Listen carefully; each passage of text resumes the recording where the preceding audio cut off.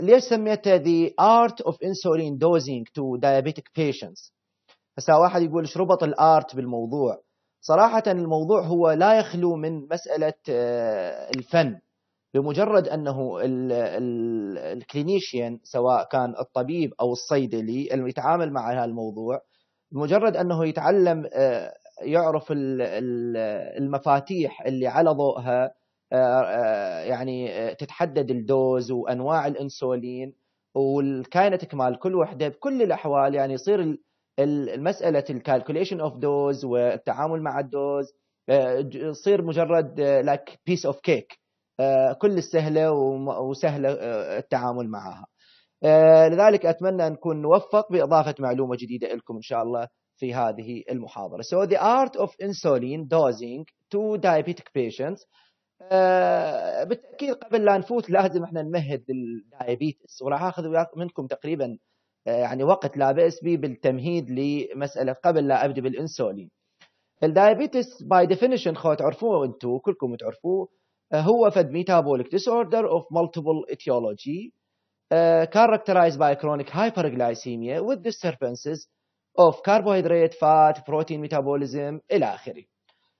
طبعا of course resulting from defect of insulin secretion, insulin action or combination of both.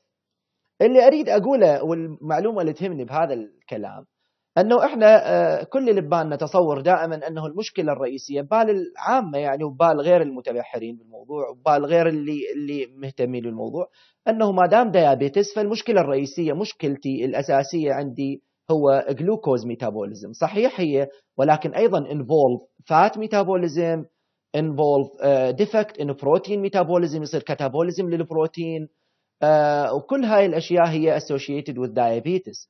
فالمشكلة هي 3 تقريبا 3 components will be affected carbohydrates fat and proteins. هذا. والسبب الرئيسي له إما عندي مشكلتي بال insulin action أو بال secretion أو combination of both فلذلك يعني معناها أقصد type 1 أو type 2 هيك يعني أقصد. إذا نأخذ فد نظرة يعني infographics آه، على مسألة ال diabetes بالعالم وبالعراق. إحنا طبعا بالعراق تدرون جنابكم الإحصائيات ما عندنا كلش مضبوطة يعني بالأرقام ولكن لا بأس بين الفينة والأخرى تطلع لنا دراسة آه، يعني تبين لنا الانسولين تبين عفوا ال epidemiology أو ال prevalence of certain disease إلى حد ما آه، يعني آه، تنطينا فد معلومة عنها. وإحنا صراحة نفتقر إلى الأرقام. إحنا بالعراق لا نحترم الأرقام ونفتقر إلى الأرقام بأبسط صورها. في كثير من الأحيان نفتقر إلى الأرقام. ولكن ناخذ الصورة العامة لل diabetes مثلا بالعالم كله تقريبا 463 مليون. من الناس عندهم diabetes لحد يوم 25 2 2020 هاي الإحصائية الآخر إحصائية. آه، لحد 25 2 هي كانت 463 مليون. آه، طبعا آه، تقدر هذا واحد من كل 11 واحد. واحد من كل 11 آه، يعني 8 people affected by diabetes. وواحد من كل أربعة من الناس ما يدرون عندهم diabetes واحد من كل أربعة قصدي من من ذول ال diabetics هم أصلا ما يدرون عندهم diabetes وأكثر شيء يصير discovery لل diabetes مالتهم عن طريق يعني accidentally صدفة راح يحلل فد شيء أو كذا لقى عنده diabetes بالعراق عندنا ال adult population مالتنا تقريبا 20 مليون ال adult مو لذلك بالعراق ال prevalence of diabetes تقريبا 7 و6 بالعشرة وعندنا أكثر من مليون ونص شخص عنده diabetes فالمسألة بصورة عامة هي المسألة لا تخلو من الأهمية المسألة مهمة جدا أنه إحنا نعرف شلون نتعامل مع ال diabetic patient وبالضرورة لازم نعرف نتعامل مع الإنسولين لأنه إحنا we are going to save the life of our patients. إذا نرجعكم شوية back لل histology histology of of pancreas أريدكم تتذكرون وياي يا شباب. أنا أتمنى هسه الموضوع على السبورة قدامي لأن أنا صراحة دائما يعني أستمتع بالسبورة أكثر من الشرح على ال PowerPoint ويعرفون الطلاب وطلاب الدورات. السبوره شوية تعطيك مساحة واسعة وتخلي اللي قدامك يعني آه، توصل له الفكرة أسرع. ولكن لا بأس لأنه نقدر نحاول قدر الإمكان نوصل فد فكرة معينة. فإذا تباعون ويا شباب هنا إحنا عندنا البنكرياس. البنكرياس بالضبط هاي خلينا نقول هي هاي البنكرياس. خلينا نفترض هذا مقعد مقطع من البنكرياس. البنكرياس بها هاي ال cells اللي تباعوها هاي ال cells الصفر هاي هنا مو قصدي هاي ال glands هاي الصفر. وبها هاي اللي بالنص. طبعا هاي ال glands هاي الصفر هاي هاي يسمونها exocrine pancreas أو acinus ال acini هاي كل وحدة acinus والمجموع هنا يسمونه acini طيب ذني شنو ذولي وهذا شنو؟ البنكرياس 99% منها هي exocrine gland 99% منها exocrine gland يعني هاي الجزء الأصفر يشكل 99% okay؟ هذا الجزء اللي بالنص هذا ال islets of Langerhans. ده سمعوني شباب المنظمين. المنظمين ده سمعوني أه، مو أكو أكو صوت يمكن اكو أكو ناس ما ما يعني مفتوح هذا مالتهم كان يعني أوكي وضح الصوت. فشباب الاعزاء عيوني هذا هذا الجزء الأصفر هو يشكل 99% اللي هو جزء exocrine gland. وهذا بالنص ال islets of Langerhans هذا يشكل فقط 1% اللي هو ب راح أقول لكم خمس أنواع من الخلايا. طيب آه لذلك البنكرياس يسمونها يسمونها hetero heterocrine gland. لا هي endocrine ولا هي exocrine heterocrine. ليش heterocrine؟ لأن جزء منها exocrine جزء منها endocrine. صحيح ال endocri- ال exocrine هو الجزء ال major لكن كل الأحوال إحنا عندنا two functions آه، إلها. هاي البنكري ال islets of Langerhans هاي اللي قدامكم المنطقة هاي الباهته الخضراء هذا تعرفون اكتشفها العالم الألماني آه، طبيب تشريح هو ألماني اسمه لانجر هانز سنه 1869 وبعدين سووا characterization عليها قربوا الصورة كلها. إذا تقربون الصورة لها تلقون بها تقريبا خمس أنواع من الخلايا. هاي هسه الصورة اللي قدامنا ال islets of Langerhans خمسه أنواع من الخلايا. هاي ال alpha cells اللي هي تدرون بها تفرز جلوكاجون والجلوكاجون هواي وظائف له من ضمنها إنه يصعد السكر. إذا واحد هبط السكر عنده يصعد السكر إليه. هو عكس الإنسولين. تقريبا ال alpha cell تشكل 20% من اللانجر هانز هاي. طيب ال beta cell اللي هي تفرز لنا الإنسولين والكل شغلنا راح يكون عليه تقريبا 70% من الخلايا هنا هي beta cell تفرز لنا إنسولين. ال delta cell تفرز لنا سوماتوستاتين دائما هي أقل من 10% يعني 5 6% حتى 7% هم توصل.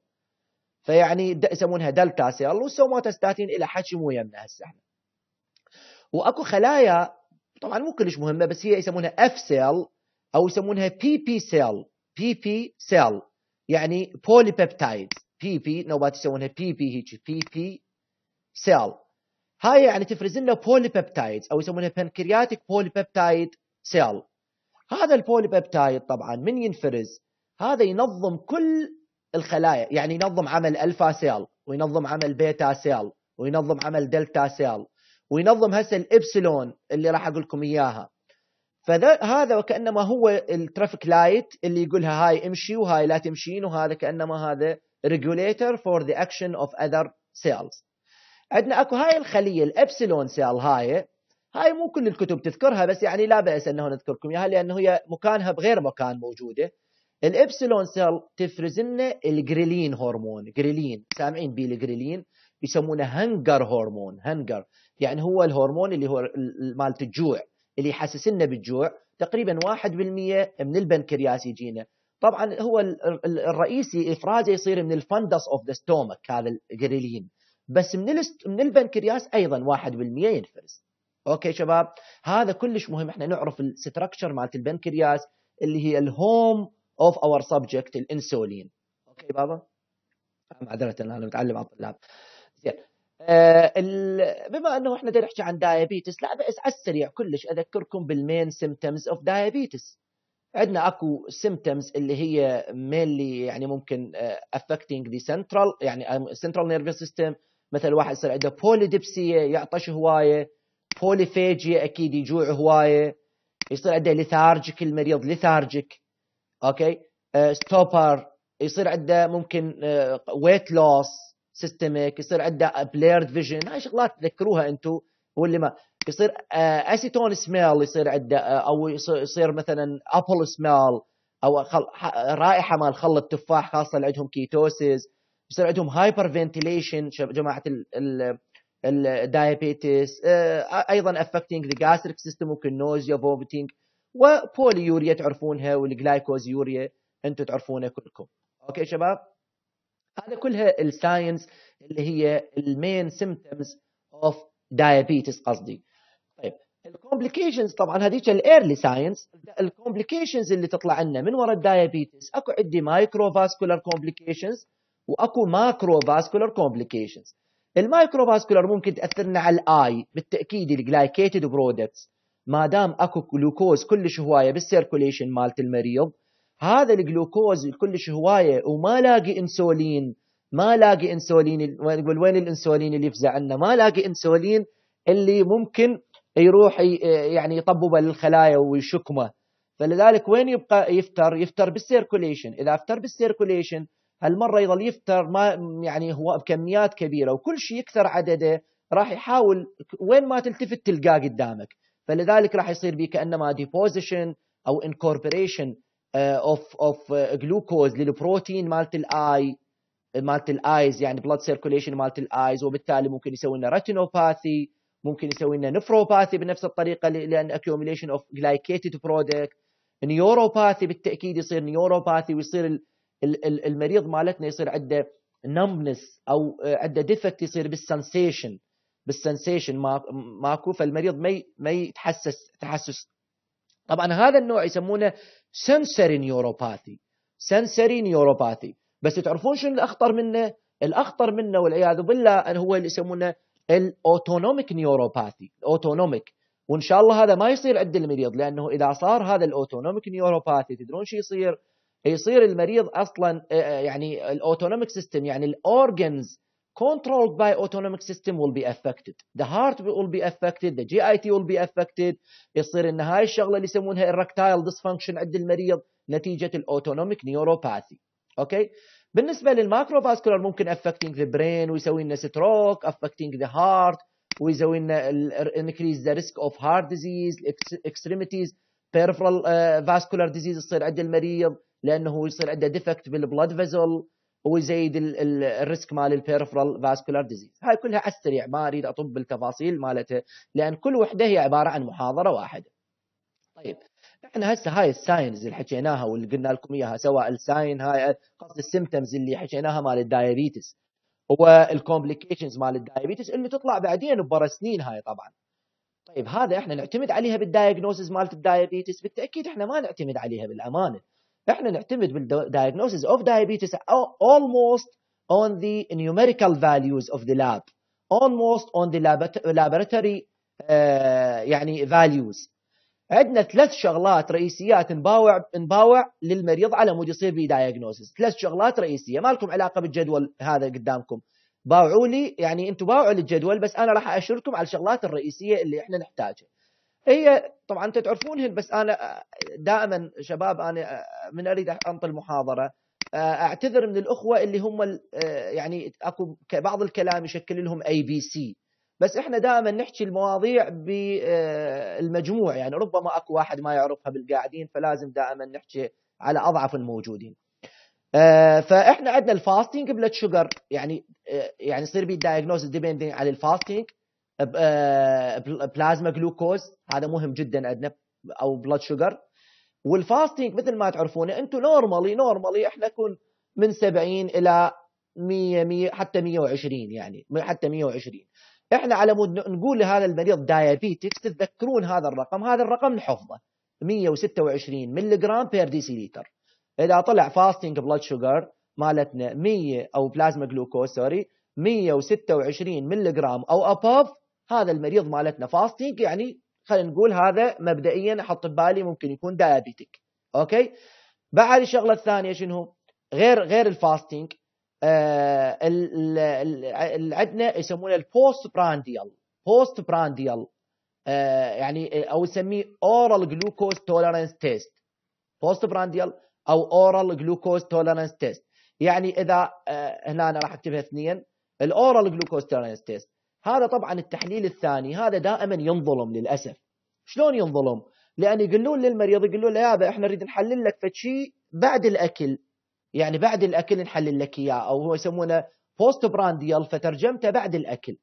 فبعض الناس عبالهم بعد الأكل ويروح يحلل ساعتين. يروح يضرب التشريب والتمن و everything ما طابت النفس ماكو.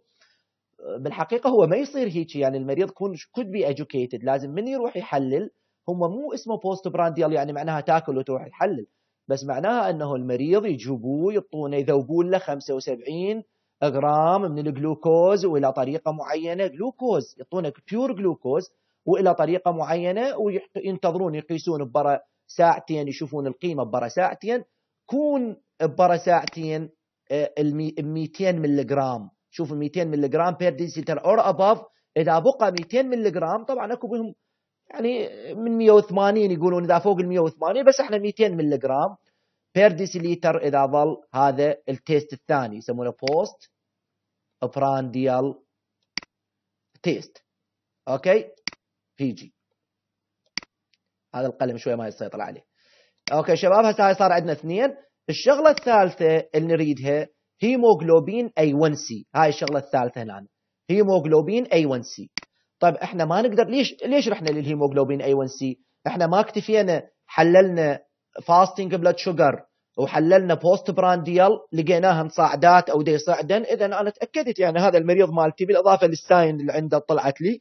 اذا هذا المريض diabetic طيب ليش رحت للهيموغلوبين A1C وشنو معنى هيموغلوبين اي 1 سي الهيموغلوبين اي 1 سي للي ما يعرفوه للي ناسيه هو يسمونه glycated hemoglobin أو glycosylated hemoglobin الإنسولين مثل ما قلنا لكم هو هواية ويفتر بال circulation ما لاقي له مكان يقعد بيه. مكانه الرئيسي بال cell بداخل ال cell فطارديه من المكان الرئيسي يفتر بالشارع اللي هو بال circulation وين يلقي؟ يلقي الهيموغلوبين. راح يحشر نفسه بنص ال structure مال الهيموغلوبين. يلبد يلاقي له في يختل بيه. فراح يصير هذا فراح تصير آه، من من يدخل بالهيموغلوبين؟ آه، مسموح مسموح أنه كمية من الجلوكوز تدخل به الهيموغلوبين لحد 6% 6 وشوية. بس فوقها لا هالمرة يصير defect عندنا بالهيموغلوبين أيضا. وبنفس الوقت يعني indicate something indicate أنه عندي جلوكوز كلش هوايه أنا ما دام صعد أكثر. فإحنا الهيموغلوبين A1C شباب إذا صعد إذا صارت نسبته أكثر من 6 ونص معناها هذا المريض hyperglycemic للفترة الماضية. ها للفترة الماضية. يعني معناها يعطيني indication أريد أسألكم سؤال إيش قد تتذكرون عمر ال RBC تتذكرون؟ طبعا ما جاوبون أنتم بس بقلبكم تجاوبون. عمر ال RBC هي تقريبا مو قلنا نقول 120 يوم تقريبا أربع أشهر بهالحدود فهذا يعطيني indication ما دام هو بالهيموغلوبين الهيموغلوبين اللي بداخل ال RBC يعطيني indication إذا زاد الاي 1 سي إذا الاي 1 سي زايد معناها إحنا عندنا الثلاث أشهر الماضية كان المريض ما مسيطر على السكر مالته. فلذلك الثلاث أشهر الماضية average كان دائما صاعد الجلوكوز بحيث أنت صعد الهيموغلوبين اي 1 سي وإلى قيم كل ما مثلا صار سبعة كل ما صار سبعة حفظ هذا الرقم سبعة تقريبي يعني سبعة يعني 170 الجلوكوز مالته هيك تقريبا يعني اذا حتى تحفظون بس رقم سبعة 170 قبالها. اذا صار ثمانية بس زودوا 35 بعد.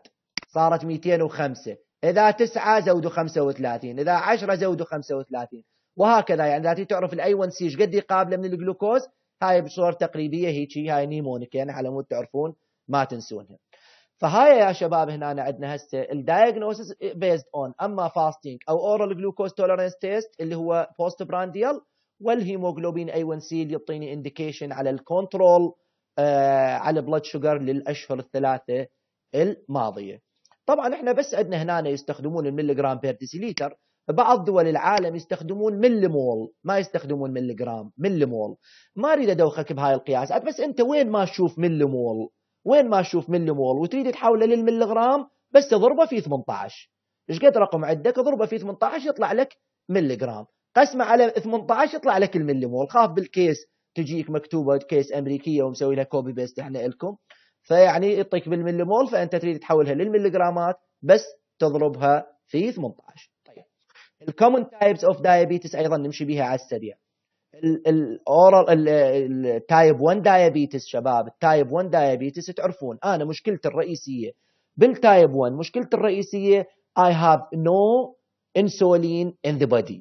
يعني ال cells ال beta cell of Langerhans ال beta cell اللي هي normal تفرز انسولين ما عادت تقدر تفرز انسولين وبالتالي الجلوكوز بعد ما يفوت للخلايا ويصير hyperglycemia فاذا failure to produce insulin هذا type 1 failure to produce insulin و type 2 لا. الإنسولين يعني ال beta cell تطلع لي إنسولين. صحيح قليل. صحيح كميته مو كلش هواية بس بالإضافة إلى كون كميته مو كلش هواية أكو resistant تصير عندي بال receptor. يعني يوصل لل receptor. يريد يقعد على ال receptor ما دا يقدر يقعد على ال receptor.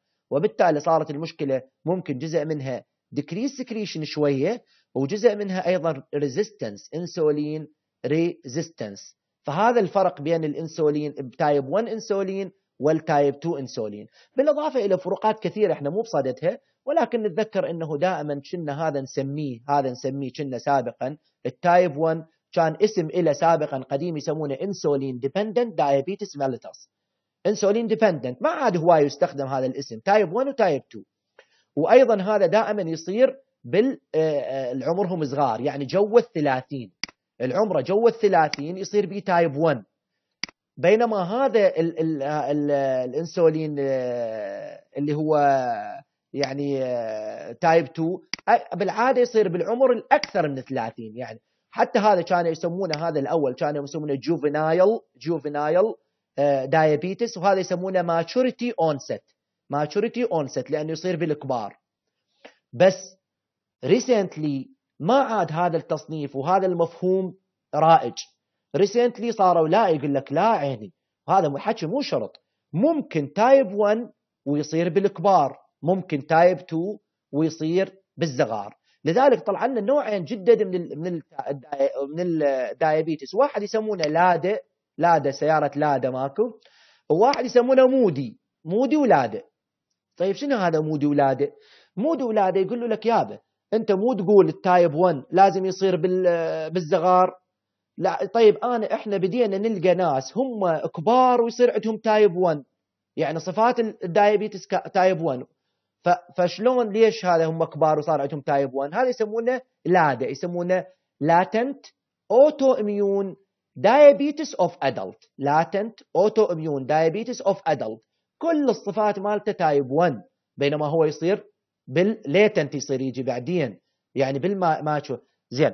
هنا آه هنا يعني آه اكو بعض الكتب يسمونه type 1.5 مو عندنا type 1 و type 2 هذا type 1.5 okay شباب؟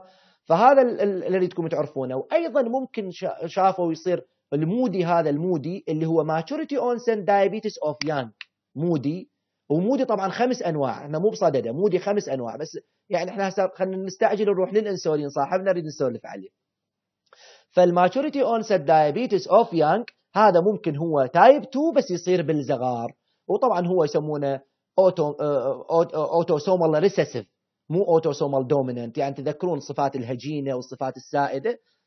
ما, ما ندوقكم آه، بصفاته. okay؟ فخلوا ببالكم ليش أقول لكم هاي الشغلة؟ على مود تعرف أنه الايج ما عاد هو ال landmark بال diagnosis of type 1 or type 2 لا الايج ممكن إحنا نعبره ما نقدر نسميه آه، يعني maturity onset أو juvenile type 1 و type 2 زين.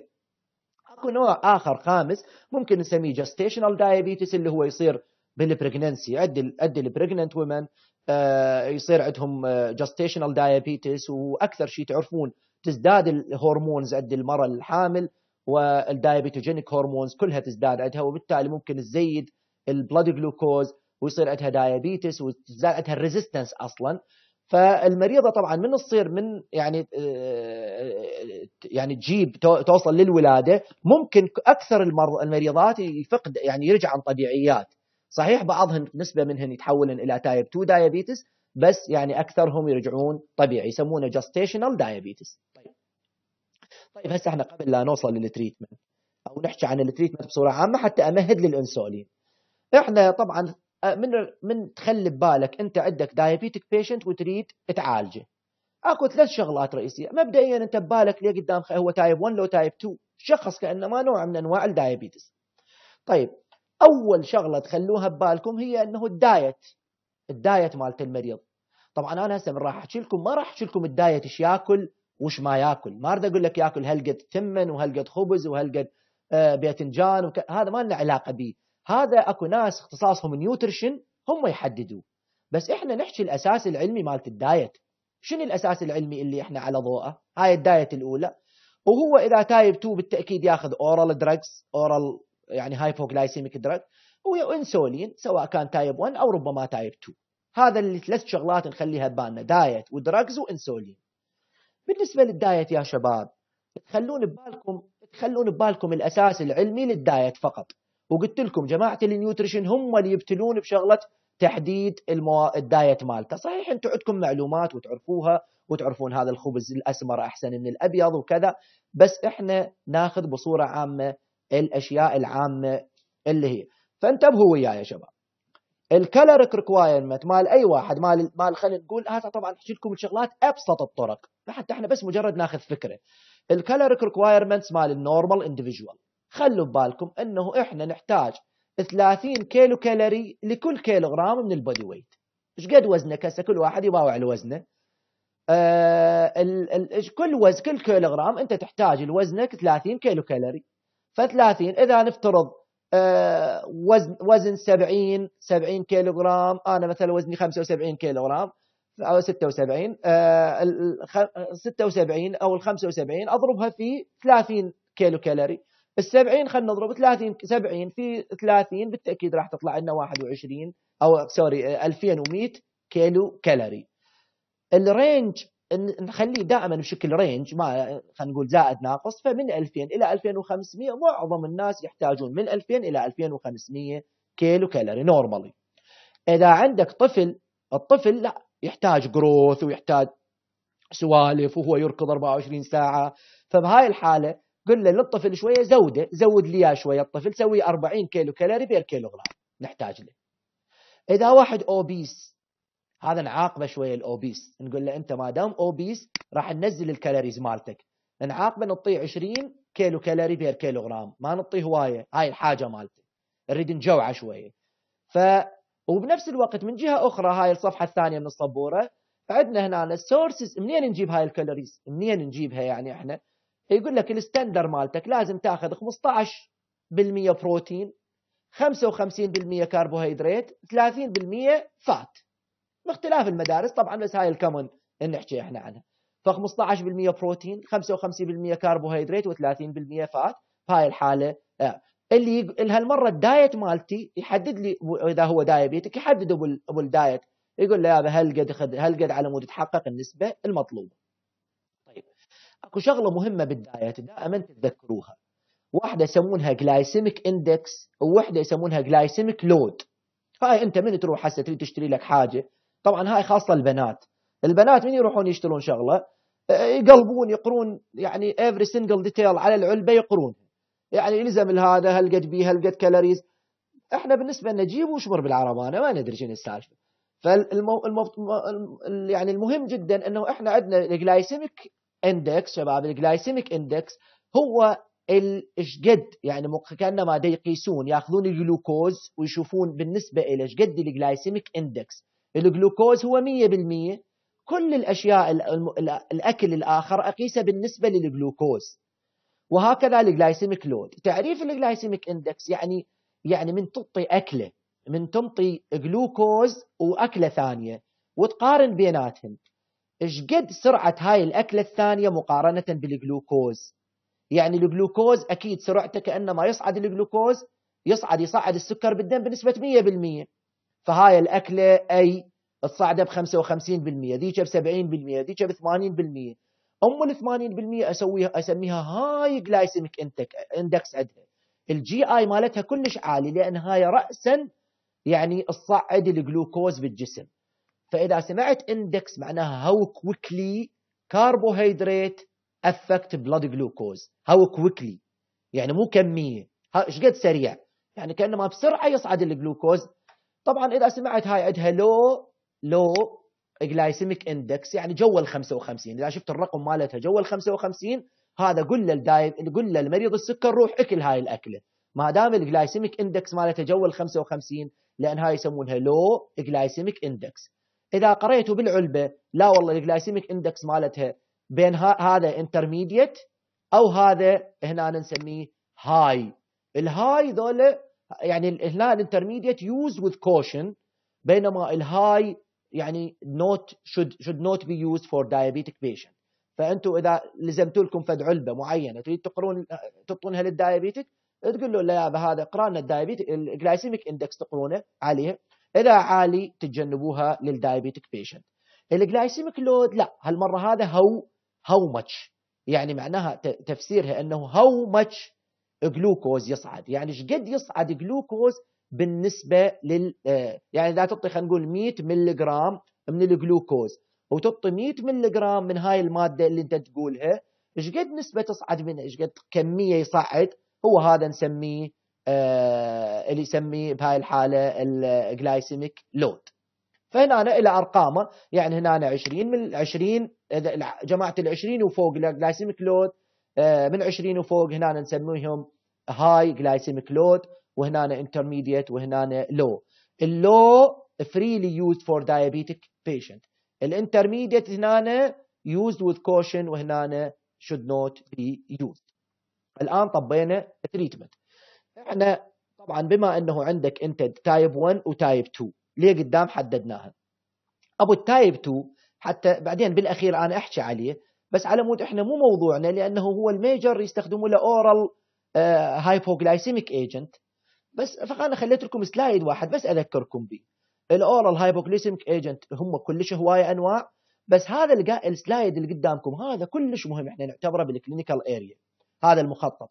هذا ال American Diabetic Association كل مرة طلع guideline American Diabetic Association هذا هنا هي guideline for treatment of type 2 diabetes anti hyperglycemic therapy يقول لك يابا أنت إذا المريض عندك ال A1C فوق التسعة فدائما استخدم mono therapy إذا المريض مالت قصدي جو التسعة mono therapy فوق التسعة dual therapy هذا نستخدم dual therapy شوفوا. وإذا فوق بعد هذا نستخدم ممكن يعني هاي أكو شروط معينة تستخدم الإنسولين زائدا ال oral hypoglycemic agent ويقول لك تستمر على ال mono بالبداية على ال lifestyle ثلاث أشهر وبعدين على ال mono therapy ثلاث أشهر وبعدين على dual therapy ثلاث أشهر وتوصل لل triple therapy.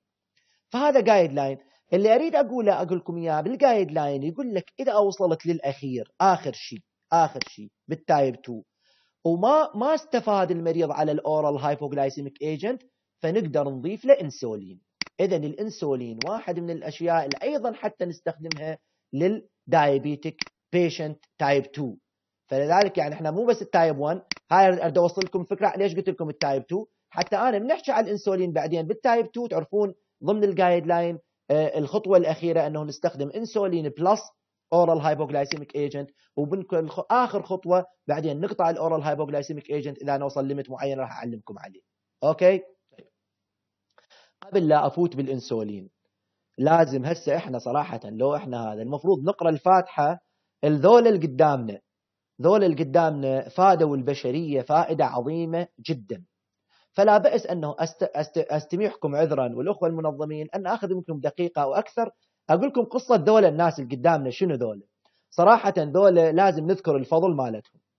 هذا اللي قدامنا يسمونه بانتينج بانتينج وماكلويد بيست وكولب أقول لكم قصة بانتينج هذا هو المكتشف الإنسولين. هذا المكتشف الرئيسي للإنسولين هذا يسمونه بانتينج العالم بانتينج هو Nobel Prize winner حاصل على جا... كلهم حاصلين على جائزة نوبل ذني بس راح أقول لكم القصة مالتهم. هذا بانتينج شباب بالبداية ما كان هو طبيب طبعا حاصل على ماجستير بالطب. هذا بالبداية ما كان طبيب أصلا كان بكلية ثانية بس بعدين حتى من كبر شوية يلا راح بعدين الكليه الطب راح الكليه الطب. وبعدين من راح الكليه الطب صارت بعدين حرب طبعا هو اكتشفها بكندا الإنسولين. صارت الحرب وتدرون جنابكم ذيك الفترة يعني بال 1900 تقريبا 21 ويا فترة الحرب العالمية. فهذا بانتينج طبعا راح للحرب قام هناك يعالجهم سووا طلبوا طلق فرق تطوعية وراح وراح وياهم هو كان طبيب بوقتها ماجستير بالطب. وبعدين من رجع للحرب صراحة عيادته ما كانت تشتغل. يعني قاعد وساكت حتى أصلا ما عنده فلوس يشتري. قاعد وساكت تدرون ما ما باني له اسم ولا صاير class A ولا هذه. فظل قاعد. بعدين بالأخير اضطر يروح يسوي محاضرات بجامعة معينة بكندا. فمن راح أنطى محاضرات وهو يسوي محاضرات للطلاب. فلفت نظره فت مواضيع المتعلقة بال metabolism مالت الجلوكوز. وشلون الجلوكوز يصير metabolism وشلون اكو missing عندنا الفد certain substance بعد ما مسمينها انسولين certain substance هي هاي ال missing اكو فد substance تنفرز من لانجرهانز وذولا جماعة ال diabetes عندهم missing إلها. لذلك يصير عندهم diabetes ويموتون خلال ربما حتى أيام أو بال maximum فد أشهر يموتون. لأن كان ماكو ماكو انسولين فلذلك سوى هو قال لك هاي الشغلة يعني أنا يعني يعني كلش عجبتني وخلى أبحث بها بدأ يدرس إلى ان طبعا هو بال يعني صارت عنده أفكار معينة لهذا الموضوع. اجى مشى للجامعة رئيس قسم الفسلجة. بهاي الجامعة رئيس قسم الفسلجة اسمه ماكلويد هذا رئيس قسم الفسلجة. ماكلويد قال له هذا ماكلويد خلي عندي خوش أفكار هاي متعلقة. خلينا نشتغل أنا وياك وهيئ لي الاشياء وأنا أشتغل وياك يعني بإشرافك وكذا. سواله جهز له جهز له مختبر فشي مختبر منزوي غرفة صغيرونة تعبانة كل شيء ما بيها جهز لي اياه وقال قال له وراح أقول لهذا الطالب هذا بيست كان طالب ماجستير هذا بيست اللي قدامكم كان طالب ماجستير. فقال له يابا يا بيست أنت اشتغل وي وي بانتينج شوف بلكة الله توصلون إلى فد شيء وطبعا هذا ظل قاعد بالمكتب مالته وما له علاقة ماكلويد أوكي؟ هاي القصة مال ذول الثلاثة. اشتغلوا. فترة كلش كبيرة بحيث تقلل لهم هذا ماكلويد قال لهم دير بالكم هم كانوا يشتغلون على الكلاب بوقتها فقول دير بالكم تستهلكون هواي من الكلاب من البيت الحيواني لكم بس عشر كلاب فقط.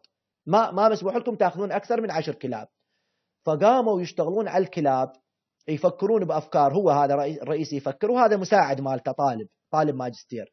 فقال قالوا قاموا يشتغلون على الكلاب. اجتهم فكرة أنه بما أنه يحاول محاولات قبلهم أنه يعزلون هاي المادة مالت مالت البنكرياس فقال لك اكو وصلت أفكار كبيرة ما اريد ادوخكم بها بس إنه يعقدون النبيبات بحيث ال trypsin وال chymotrypsin ما يكسر الإنسولين ما ادوخكم بها بس النتيجة النهائية إنه هم توصلوا إلى حاولوا إنه يطلعون البنكرياس بعد ما يموتون ال exocrine part من البنكرياس ويبقون بس يبقون بس ال endocrine ويسووا لها extraction وغير. بقوا يشتغلون على الكلاب إلى أن خلصت مالت المختبر العشرة وظل هذا يفتر بالشوارع وبال بال بالازقه الظلمة يدور على كلاب سائبة حتى يحصل عليها. شوفوا الاكتشافات هاي هواية نحصل منها. فبعدين من وصلت السالفة إلى يعني يعني بدأ يدور عليها ويلزمها بربطة العنق مالته مالته ويحاول يجيبها للمختبر. فهذا يا شباب بعدين توصل إلى آخر وصل إلى عدد عدد من الكلى وصل إلى رقم 390 رقم 390 هذا شوفوا. 390 هذا رقم 390 يلا بلش قدر قدر بوقتها يسوي extraction لهاي المادة مالت الإنسولين. رقم 390 كلاب عدد الكلاب اللي استخدمهم. وطبعا هذا حقنها وطبعا كل ما هاي تموت الكلاب يسويه وتموت. بعدين حقنها الرقم يسمونه الكلب 400 410 410 حتى هذا الرقم ال 410 هو يسمونه مقدس رقم رقم الحظ يعني.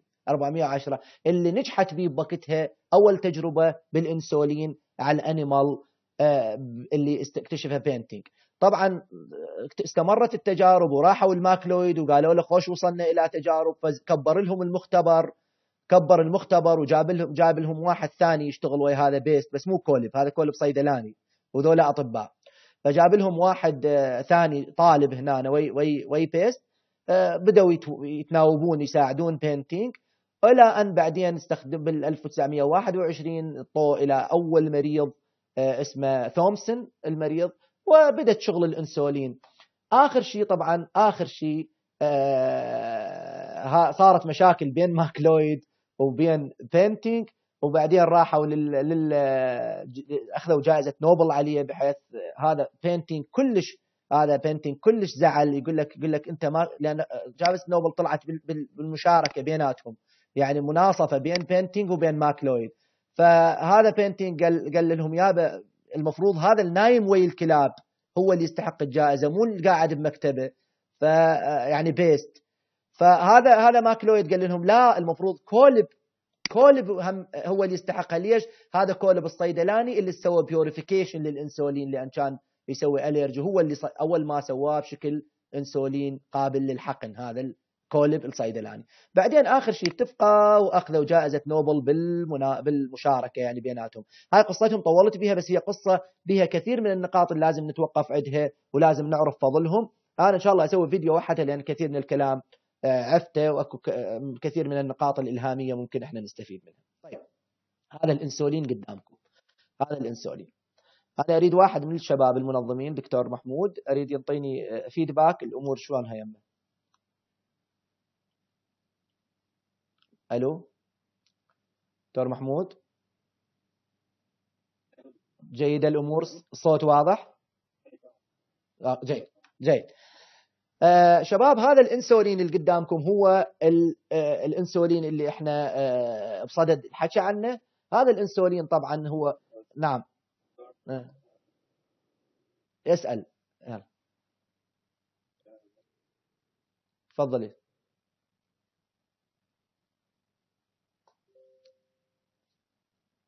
تفضلوا. أنا ميوت وتفضلوا.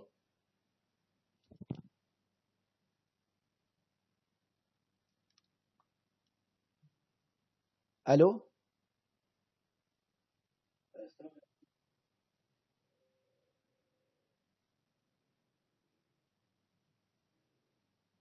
أنا أنت اقرأ لي لأن أنا ما أشوف الشاشة مالتي طالعة هيك. اذا تحب تخلي الأسئلة للأخير يعني مو أحسن؟ دكتور محمود. يعني حتى لأن يصير interruption و يلا okay. راح أكمل. زين الأخوة يعني إن شاء الله كلكم تسمعوني وإن شاء الله الصوت واضح وإن شاء الله أنا ما يعني أثقل عليكم بال بالشرح لهوايه الإنسولين قدامكم شباب الإنسولين أول ما ينفرز هو يعني فد شكل كانوا سابقا يعلمونا يقولون ارسموا رقم تسعة. شوفوا رقم تسعة هذا. هذا رقم تسعة تقريبا هيك مكتوب رقم تسعة.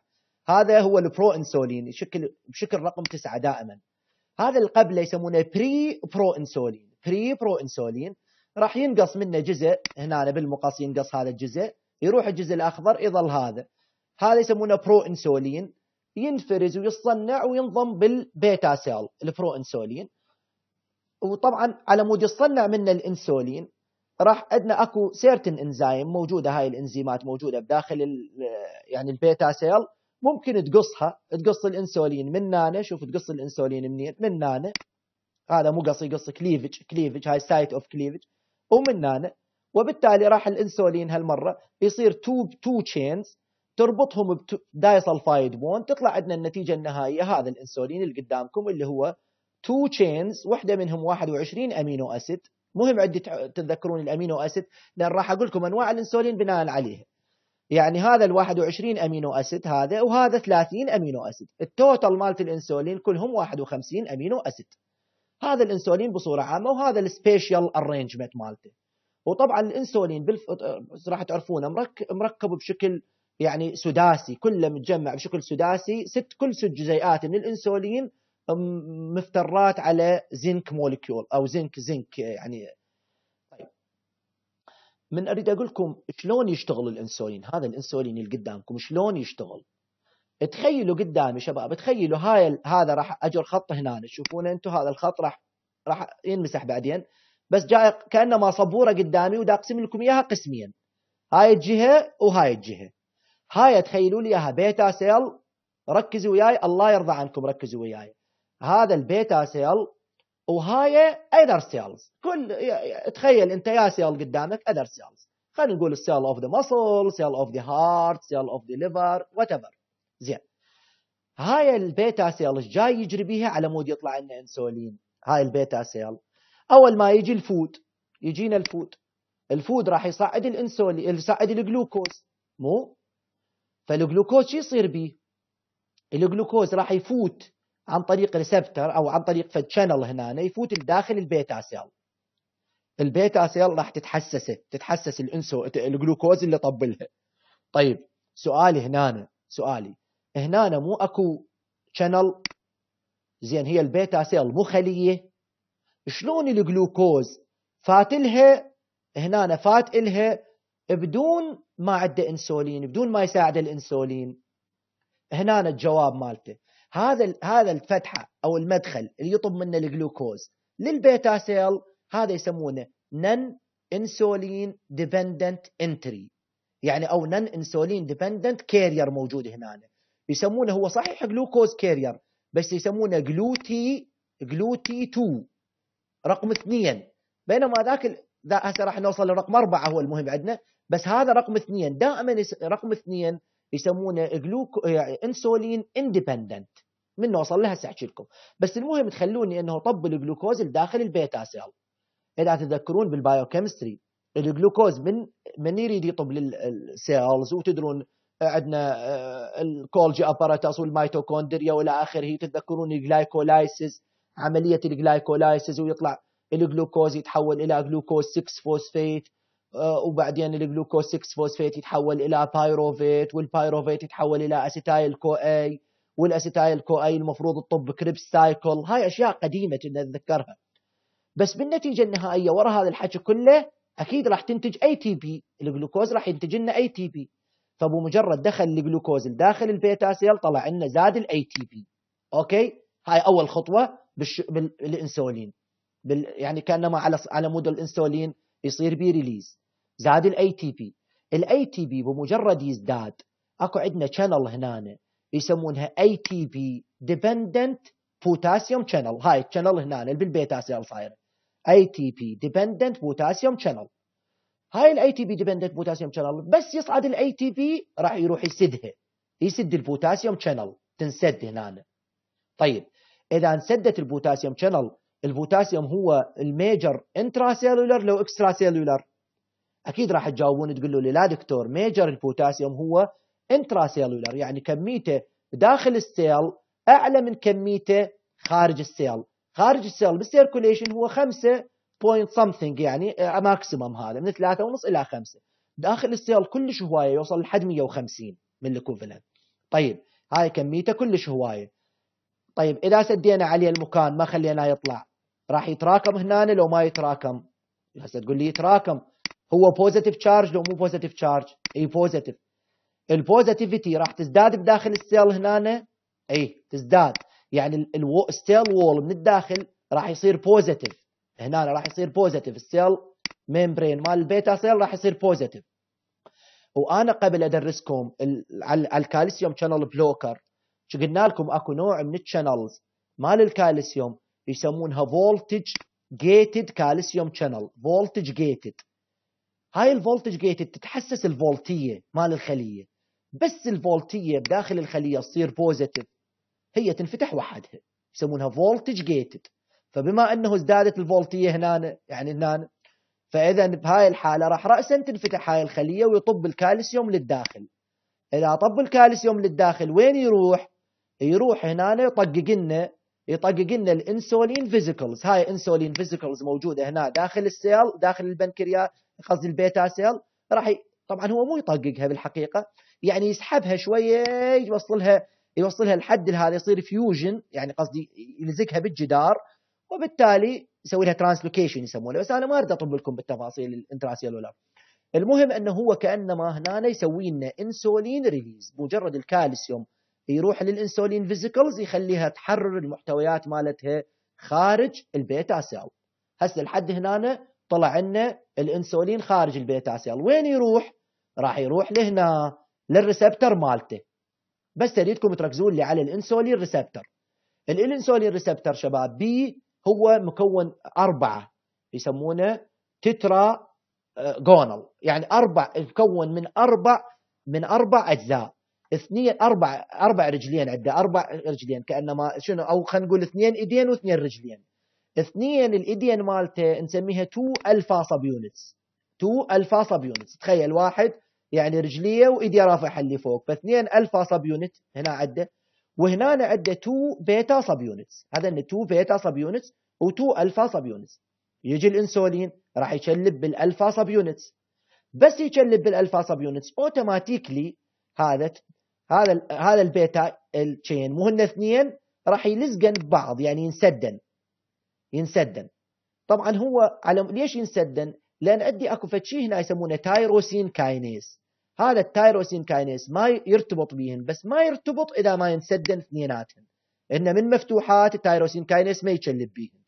بس من ينسدن؟ يجي يشلب يعني يصير attachment لل tyrosine kinase بال beta subunits فلذلك هذا ال receptor يسمونه ال receptor اللي هو insulin receptor اللي هو 2 alpha subunits و2 beta subunits يسمونه tyrosine kinase linked receptor tyrosine kinase linked receptor okay بعدين راح بالتأكيد يصير له phosphorylation هذا هذا يصير له phosphorylation ال tyrosine kinase ومجموعة من الخطوات ما دوخك بها عشرات الخطوات.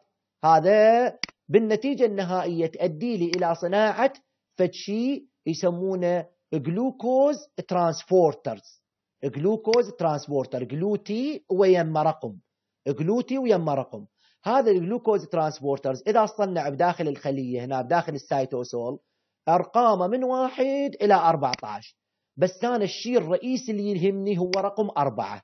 الشيء الرئيسي اللي تخلون ببالكم GLUT 4 فقط. ليش نخلي ال GLUT 4 شباب؟ لأن هذا ال GLUT 4 هو الرئيسي اللي موجود بال heart وموجود بال muscle وموجود بال adipose tissue وهذا هو الرئيسي وطبعا شوية بال liver موجود لأن ال liver بي GLUT 2 هو GLUT 2 اللي ما يعتمد على الإنسولين. بينما هذا GLUT 4 يسمونه insulin dependent glu يعني glucose transporter. يعني إيه قصدي؟ دائما يعتمد على الإنسولين. لو ما الإنسولين كان ما صنع. بينما هذا لا هذا بدون إنسولين موجود. شايفين هذا هذا كان شكله مو كان زحليقة؟ كان زحليقة هذا شوف كأنه ما زحليقة. تخيلوا هو هذا شايفين هاي الزحليقه النفخ وبالمسابح شايفين بالمدن المدن المائية من فوق إذا واحد يزحلق ينطونه tube هيجي ويزحلق بيه من فوق. فهاي يا شباب من يجيبون هذا يصنع GLUT four راح ينتقل لهذا المكان هسه هو راح ينتقل. كانما يشكل جسر على مود يعبر شوف شلون انتقل.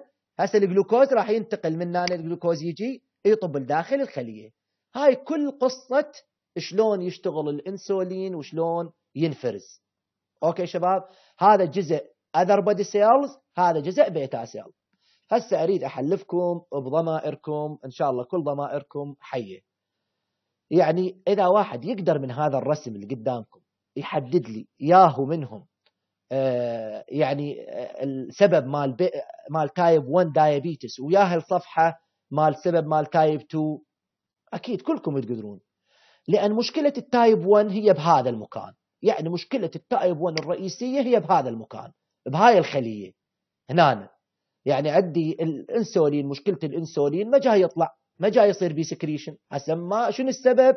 بعدين. بس ما جاي يصير بي secretion بينما مشكلة ال type 2 هنا مشكلة ال type 2 diabetes بهذا المكان. هسه اللهم مشكلته بال receptor مال الإنسولين هذا هذا ال receptor مال الإنسولين بيه مشكلة ويجي الإنسولين وما يقدر يشتغل. أو لا والله مشكلته بهاي الخطوات tyrosine kinase وجماعته فد خطوة من الخطوات اللي تنقل الكهربائية ما جاي تصير. أو مشكلته بال transporter ربما. transporter هذا اللي المفروض يروح زحليقه يسوي لل للجلوكوز على مود يطب داخل الخلية ما جاي يصير زين. وأسباب كلش عديدة بس هي هاي المشاكل الرئيسية. فأنت من ذني تتخيل وياي؟ مشكلة ال type 1 وين تصير؟ مشكلة ال type 2 وين تصير؟ type 2 diabetes. طيب بس إحنا بكل الأحوال إحنا ما نعتمد على هذا.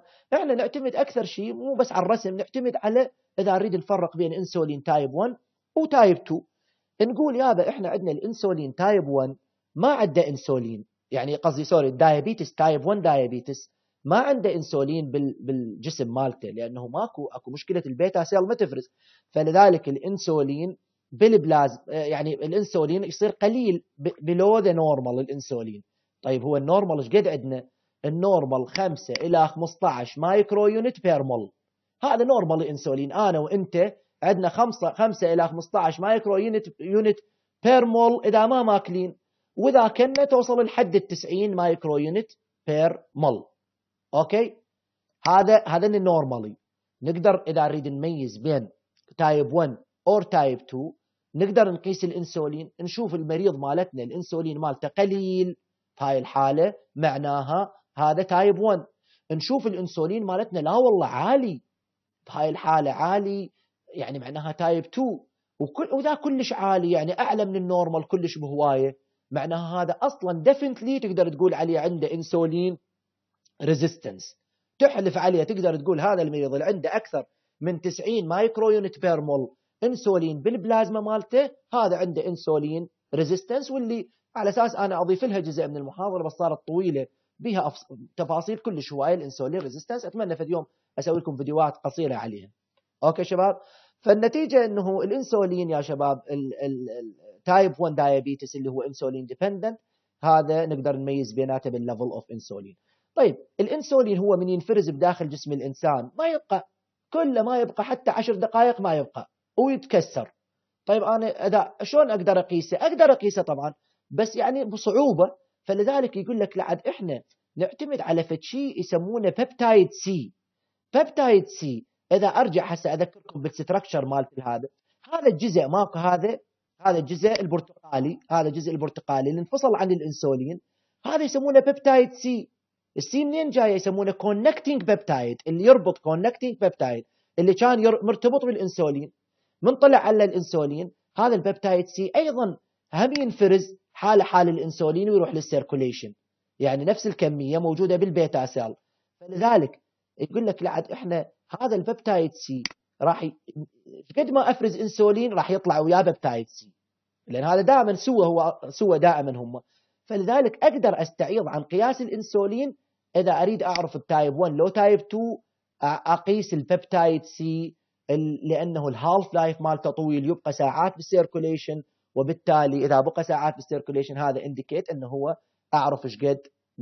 هذا به تفاصيل بعد معينة بس أنت تقدر تقيس الإنسولين تقدر تقيس peptide C على مود تميز بين type 1 and type 2 kinetically شباب kinetically الإنسولين هذا النطي شباب. الإنسولين إذا نريد نطيه للمريض. أنا لو عندي رسم هنا أنا خلي أتخيل هسه هاي البنكرياس هنا البنكرياس هيجي يعني هيك البنكرياس هاي.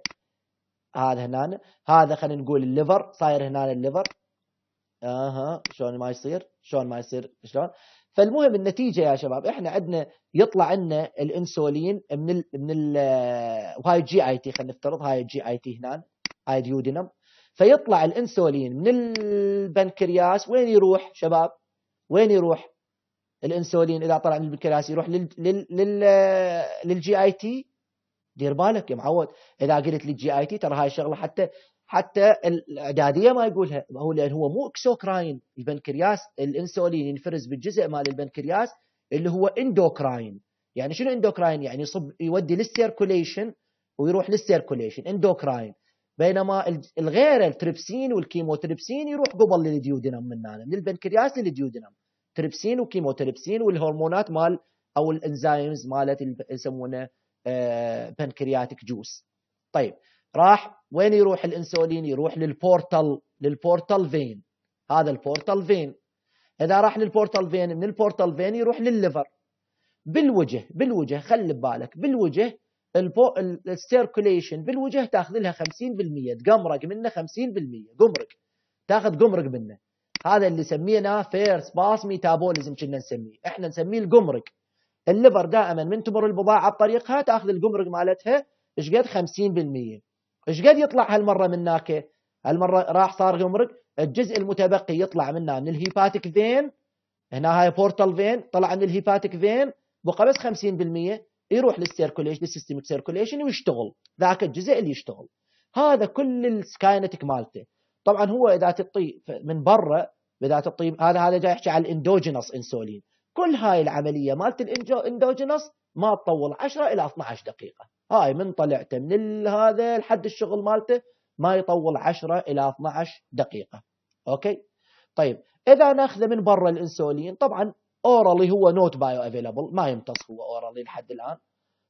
يعني نعطيه subcutaneous نعطيه ممكن أكو IM بس يعني مو ممكن نعطيه IV بس IM ما نستخدمه.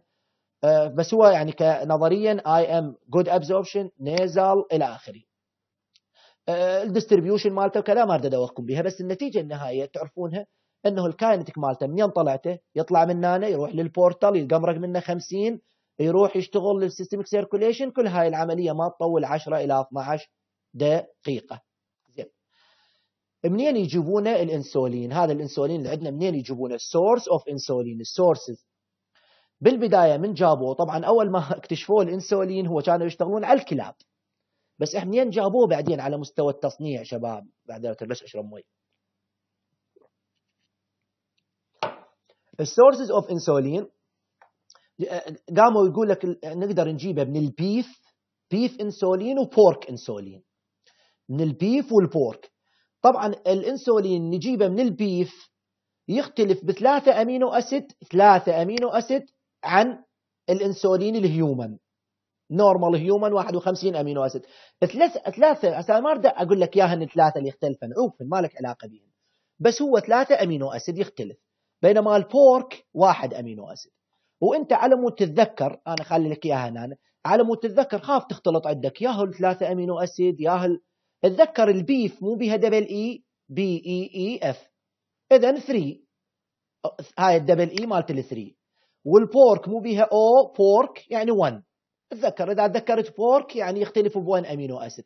إذا 3 طيب هاي شنو فائدتها تذكرها مو مو مو كل ما تزداد عدد ال amino acid الاختلاف كل ما تزداد ال allergenicity يعني يصير allergic الإنسولين يصير كلش allergic ويسوي حساسية. فبهاي الحالة إحنا يعني نفضل إذا بيناتن إذا إذا إذا يعني نقارن بيناتن فال pork أحسن من ال beef إذا بيناتن. أكيد بعدين اجانا ال human insulin. زين okay؟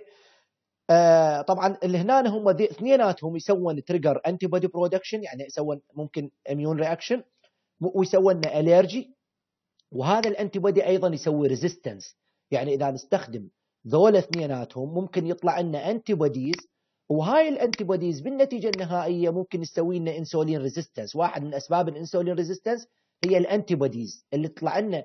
وهذا حتى حل ال insulin resistance اللي سببها antibodies سهل بس نبدل نوع الانسولين نعطيه human insulin مثلا. okay شباب؟ زين. ال human insulin مانف... اللي بعدين استخدموا ال human insulin manufactured by RNA يسمونه recombinant DNA technology recombinant DNA technology قاموا يصنعون ال human insulin من ال yeast الخميرة والبكتيريا. E. coli قاموا يستخدمون أو ال yeast. طيب من صنعوه هذا شكل ثورة بعالم إنتاج الإنسولين. لأن جابوا نفس ال sequence مال ال human insulin. ال 51 amino acid ذن نفسهن مالت ال human سووا نفسهن وبالتالي فقدنا بعد شغلة ال allergy فقدنا شغلة ال resistance قامت تصير قليلة وإلى آخره. هذا فكانت big jump in the technology of production of insulin قبل شوية كنت أحكي عليها هي ال sources ال sources مختلفة يا أخوان الاعزاء واخواتي مختلفة على عن ال preparations ال preparations يعني شلون شنو التحضيرات؟ كل هم ال sources بس اثنين. ال sources عندنا إما من ال human أو من ال animal خلاص. ال human يعني أقصد يعني هو recombinant DNA technology اللي يجي يسميه human insulin أو animal insulin وال animal أنتم تعرفونها لو pork لو beef okay؟ زين. هنا ال preparations لا ال preparation عندي أنواع منها. ال preparations عندي ممكن short acting insulin هذا اللي كنا نسميه سابقا الإنسولين الصافي. تتذكرون الإنسولين الصافي؟ أو نسميه إحنا regular insulin regular insulin الشائع عليه regular insulin أو يسمونه neutral insulin أو اللي يسمونه soluble insulin نفس الشكل. أي واحد يقول لك short acting insulin لأن اريدكم تميزون بالأسماء بيناتهم ال short acting short acting يختلف عن أقول لك عن بعدين أقول لك rapid acting يعني كل وحدة لها علاقة بتصميم الجرعة. انتبهوا لي شباب الله الله يرضى عنكم. انتبهوا لي خلوها ببالكم من أحكي لكم بعدين عن تصميم الجرعات. ال short acting insulin هذا ممكن أسميه regular ممكن neutral ممكن soluble هذا هو الإنسولين without any modification. يعني ال human insulin نفسه أجيبه بدون ما أسوي modification كله. إيش قلت نفس ال human insulin اللي صنعناه بال DNA recombinant technology بدون ما ضايف له اي شيء هذا يسمونه ال regular insulin أو ال neutral insulin أو ال soluble insulin short إيش قد يبدي؟ يبدي 30 minutes تقريبا ال onset مالته. إذا أعطيته subcutaneous يبدي 30 minutes آه، تقريبا. وإذا أعطيته IV ببر خمس دقائق يشتغل. وطبعا هذا أأمن واحد أأمن واحد أأمن انسولين بحالات ال emergency مثلا الواحد عنده DKA diabetic ketoacidosis أو surgery أو دا يسوي أي شيء أو severe infection هاي الحالة أأمن واحد ننطيه إلى IV هو ال regular insulin هذا ال human insulin اللي ما له ملعوب به ولا صاير modification به فهذا بنعطيه اياه برا خمس دقائق راسا يشتغل. وممكن يظل لحد ست ساعات من أربعة إلى ست ساعات عند المريض يشتغل. okay شباب؟ زين. طيب نوع ثاني نوع ثاني. يسمونه NPH طبعا آه، من يعني من من هذا انتجوه وقام يشتغل خلال 30 دقيقة ويظل أربعة إلى ست ساعات. كأنما العلماء ما عجبهم هذا الحكي. قالوا شنو شنو 30 دقيقة أو شنو خلينا نقول أربع إلى ست ساعات؟ شو شوية هذا المريض يعني إيش قد كم إبرة يحتاج باليوم على مود يغطي يغطي الجرعة مالته؟ اجى فد واحد عالم عالم آه، بالدنمارك هذا العالم اسمه هاجيدورن. هاجيدورن. أنا كنت أسميه حجي دورن. حجي دورن هذا. هاجيدورن. okay؟ هذا هاجيدورن اجى قام يشتغل على الإنسولين. إيش قال له؟ قال لك الإنسولين هو مو بالحقيقة الإنسولين. عبارة عن ستة كل ست molecule ات ستة molecules من الإنسولين. كل ستة من أسويه من متجمعات بشكل هيجي ستة لأن صار ثلاثة وهاي السادسة ثلاثة أربعة خمسة ستة. بنصهن أكو zinc. zinc. okay؟ هذا الزنك متجمعات هذا الإنسولين بال solution موجود بشكل كل ستة متجمعات وبنصهن زنك. وصاير هيك كأنما بتجمع. زين شو مخليهن مربوطات؟ ذن على بعض ويا الإنسولين شنو مربوطات؟ لأن الزنك عنده positive charge فهو by يعني هاي ال electropositivity مالته هن ماسكتهن ومخليهن بشكل مجمعات بشكل hexagonal. هذا ال hexa ماكو؟ طيب. هذا ال hexagonal arrangement of insulin سبب الزنك. اجى هاجي حجي دورن هذا هاجيدورن. اجى إيش قال؟ قال يابا أنا بما أنه هذا الإنسولين طبعا طبعا هو هذا الإنسولين اللي يخلي شوفوا شوفوا هذا هنا 30 دقيقة يلا يشتغل. من انطيه subcutaneous 30 دقيقة يلا اشتغل. ليش 30 دقيقة؟ هاي ال 30 دقيقة على مود ينفتح ينفتح. بدل ما هو صاير هذا يسمونه آه هذا هنا يسمونه hexamer hexa hexamer hexamer يعني ست كل ستة شكلة كل ستة سوا hexamer وياها. هالمرة آه، يحتاج لنص ساعة على مود يصير monomer. يعني كل جزيئات إنسولين هالمرة تصير وحدها على مود تشتغل يتحول إلى monomer. زين. هذا إيش قد يحتاج؟ 30 دقيقة هذا هنا. طيب. قال لك يابا أنا أريد أطول الشغل مالته أطول ال يعني أطول الفترة مالته مالت الشغل. فقام يدور على مواد لمدة طويلة يدور على مادة يحطها هنا وي الزنك هنا أو بدال الزنك. يحطها بحيث هالمرة بدل ما خلال آه، يعني فترة قصيرة آه، تنفتح وبسرعة يعني تبدي تشتغل أو بسرعة تنتهي مفعولها بعدين أربعة إلى ست ساعات يقول لك هنا أنا لا أجيب الوحدة أقوى من الزنك. جاب لقى له بالأخير من السمك طلع له فد بروتين من السمك. هذا من السمك بروتامين سماه. اسمه بروتامين من السمك جابه. وخلاه قام يديره على الإنسولين هذا مالتنا الاعتيادي. قام يدير عليه إلى أن سوى فد واحد يسمونه ان NPH منين جاي الان؟ الان هو نفسه مالتي ال neutral insulin هذا ال regular ان سمى neutral.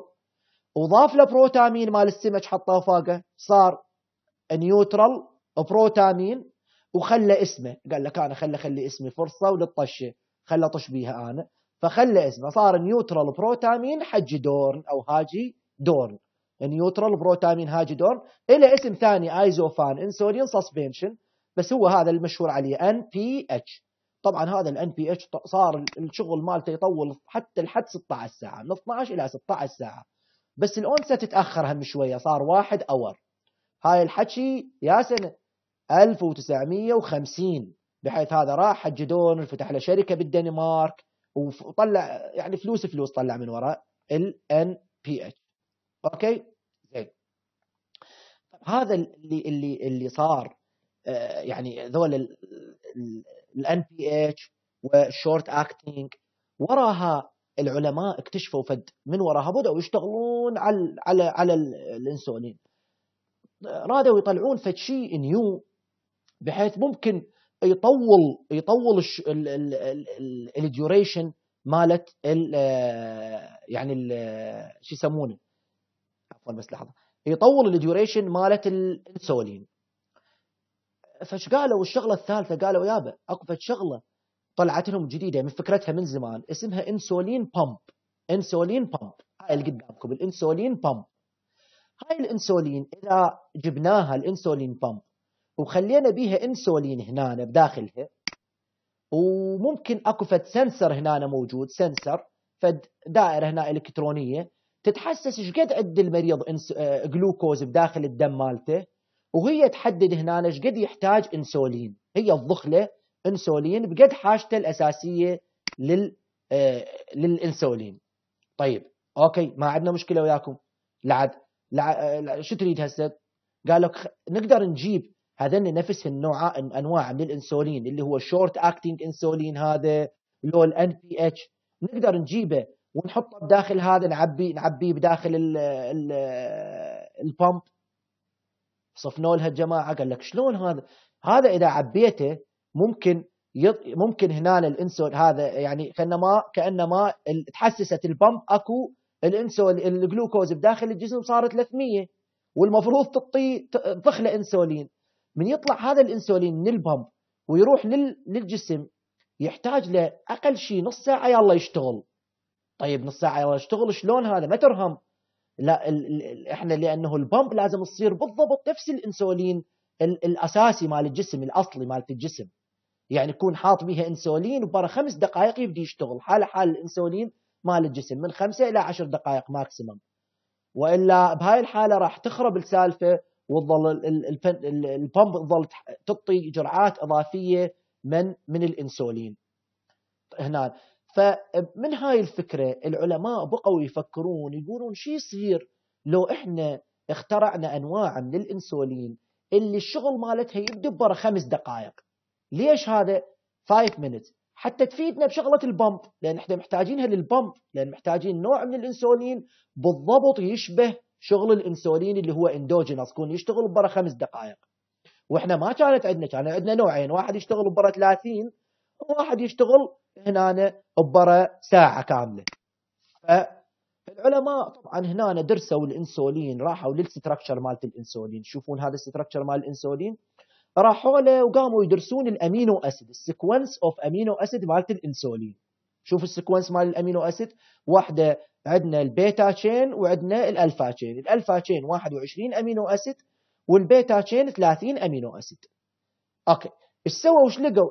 قال لك إحنا هنا عندنا عندنا عندنا بعض ال amino acid إذا غيرناهم إذا شلناهن مكان أو غيرنا خلينا ممكن إحنا نطلع أنواع جديدة من الإنسولين. هسه راح أعطيكم شنو أنواع الإنسولين.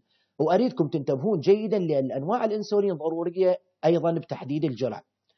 هنا تخيلوا هنا وياي هذا الإنسولين. نسميه insulin lispro سامعين؟ بيه كلكم ال insulin lispro شلون طلع عندنا ال insulin lispro؟ طبعا إجوا هم لل B chain لل beta chain هذا هنا ال ال ال ال amino acid رقم 28 بال beta chain رقم 28 ورقم 29 رقم 28 ورقم 29 رقم 28 هو برولين جماعة ال biochemistry proline ورقم 29 هو لايسين هذا اللايسين قدامكم. العلماء درسوا وقال لك يابا أنا بالله خلي أبدل أحط بدل ما هذا ال sequence مالته ال 28 برولين وال 29 لايسين لا خلي أغير مكاناتهم أسوي switching بيناتهم أسوي اللايسين أخليه 28 والبرولين أخليه 29 شوفوا؟ بس هاي الحركة فقط هاي الحركة سووها. فطلع لي فد نوع من الإنسولين سموه lispro lispro يعني lysine proline مو مثل قبل هي كانت برولين وبعدين ال lys lysine proline فصار إنسولين lispro طلع لي فد analog جديد من الإنسولين كلش حلو attractive طبعا هاي يا شركة شك هذا فكرت به فكرت به سنة 1996 شركة أمريكية اسمها ليلي معروفة لكم شركة ليلي فكرت سنة 1996 طلع إنسولين lispro. إيش بيه هذا الإنسولين؟ كلش حلو مرتب ويبدي شغله برا خمس دقائق إلى عشر دقائق. وال duration مالته ثلاثة إلى أربع hours يعني أنا الهدف الرئيسي من تصنيعه هو يبدي برا خمس دقائق آه، يعني آه، تحقق اللي هو خلي ينتهي برا ثلاثة إلى أربع hours إحنا نريده بوقتها كانوا يريدون على مود يترسون ال pump ال insulin pump إيش سموه هذا؟ سموه rapid ان acting insulin rapid acting insulin من ساعة قلت لكم حفظوا النوع الأول من الإنسولين. سميت لكم إياه short acting insulin اللي هو ال human insulin أو ال regular insulin هذا short acting insulin هذا normal بينما هذا ال rapid acting insulin شباب واللي يجن وراه؟ هذا اسمه اسمه rapid acting هذا insulin analog مو الإنسولين الأصل اللي هو اللي هو insulin analog نسميه يعني متلاعبين بال sequence مال ال amino acid. بينما ذاك ال short acting مثل ما هو ال amino acid sequence مالته. فهمتوني؟ فهذا rapid acting insulin حققنا الهدف طلعنا insulin lispro انتجت شركة ليلي سمته هيومالوج وكذا حاطين insulin lispro injection وهذا هذا تشوفونه قدامكم. okay؟ طيب الشركات عجبتهم هاي السالفة لأن هاي الشركة شركة ليلي حصلت ملايين الدولارات منه من وراء تصنيع هذا. فإجت شركة ثانية منافسة ولا يزعلون علينا خاف ال country managers مالت الشركات. إجت شركة نوفو نوردسك نوفو قالت لك يابا غارت من شركة ليلي قالت لك أنا خو هم أقدر بدل ما أخلي والله أسوي لي فيكة ثانية. بدل ما أخلي آه، أبدل الموقع ال lysine وال proline إيش سوت شركة نوفو؟ بس البرولين شالته شمرة البرولين هذا شمرته هذا البرولين حطت بمكانه aspartate. شوفوا aspartate. إيش صار عندي؟ صار عندي insulin aspart سمته. طيب أنا سؤالي لكم. هاي من تصير ال modification. ليش هيك يصير سريع المفعول كلش؟ ليش؟ يقول لك لأنه ذن ال amino acid. هن كأنما وجودهن بهذا المكان والشحنات مالتهم. طبعا أكو محاضرة أنا فد مرة يعني بالدكتوراه انطي يعني أنطيتها من طالب دكتوراه اعطيتها seminar عن هاي المواقع مال ال amino acid وشلون تنطي آه الشحنة وشلون لها علاقة وشلون ما أريد ادوخكم بها بس النتيجة النهائية أنه كل ما بدلنا ذني وشلناهن وغيرنا هاي يعني الشحنات كلها راح تتغير وبالتالي الإنسولين easily يتحول إلى monomer بدل ما كل ست ستة من الجمعات سوا لا هالمرة يصير كل إنسولين يغني بوحدة بال circulation أو بال solution okay شباب؟ فلذلك يعني طلع لنا insulin aspart سمته نوفولوج هذا insulin aspart injection أنا متأكد شايفينهم أنتم وشركة نوفو نوردسك نعم. okay شباب؟ طيب إنه عفوا عفوا سدوا ال mute سووا mute عفوا للكل. أه. أي. إنسولين طبعا إجت شركة ثالثة سنة 2004 ديك ديك شركة شركة نوفو سوتها بال 2000 بال 2004 اجتنا شركة ثالثة. قالت لك قالت لك لا أنا هم ألقي لي مكانات. هذا اللايسين اللي هنا حطته مكانه glutamate وهذا رقم ثلاثة رقم ثلاثة هنا شوفوا هنا ال aspartate خليته لايسين هذا شوف هذا هنا سويته لايسين بمكان بدل ما كان aspartate صار لايسين. فبدلت المكانات مالهم نفس الشيء sequence مال amino acid طلع لنا واحد اسمه glulisine واللي نسميه ابيدرا ابيدرا هاي الأسماء التجارية هم مهمة صراحة لأنه بات تجي حتى بال caseات من هذا يعطون اسم يعني ابيدرا دائما هذا اسم مشهور كلش اللي هي شركة سانوفي افنتس سوت شركة سانوفي افنتس طلعت لنا الابدرا وأيضا الشغل مالته هم نفس الحلو حلو بالخمس دقائق ال duration هلقد وذن الثلاثة سميناها rapid acting insulin ذن تحفظونهن مثل ما تحفظون أسماءكم. يعني عندنا ال rapid acting insulin انها ال insulin analog واحد يسمونه insulin lispro واحد aspart واحد glulisine اللي هو الابدرا طيب لحد هنا ذني اسمهن rapid acting insulin استمرت لعبة اللعبة باللعب اللعب بال sequences مالت ال amino acid. اجت شركة آه، سانوفي أيضا قالت لك أنا والله عجبني هذا الموضوع. خلي أسوي لي فد واحد مو بس rapid acting راح أسوي long acting بحيث يغطي لي اليوم كله حتى أقدر أستخدمه إذا استخدمت basal يعني هسه أقول لكم بعدين ال basal شنو معناه. يعني إذا أريد واحد مديد الفعالية أستخدمه بهالطريقة. طيب إيش سوت؟ أيضا غيرت يعني إجت لل sequence مال ال amino acid. ما لعبت ما بدلت. بس جابت لها اثنين ارجينين اثنين amino acid arginine حطتهن بال sequence لزقتهن وياه. فبدل ما الانسولين كان 51 amino acid هالمرة صار 53 amino acid. okay بس زين الاثنين الأرجين ضفناهن. فايش طلع عنا طلع عنا هنا شوفوا هذا هنا يسمونه glargine glargine طبعا هو جلايسين أكو جلايسين غيرت هنا بس هنا عندي ادي ال glycine amino acid. شوفوا بال A بال A فصارت glargine يعني جلايسين وارجينين هنا بهاي الجهة أضافت لنا اثنين ارجينين وهنا أضافت لنا جلايسين وبالتالي صارت الإنسولين اللي انتج الجديد يسمونه glargine اللي هو اللانتس.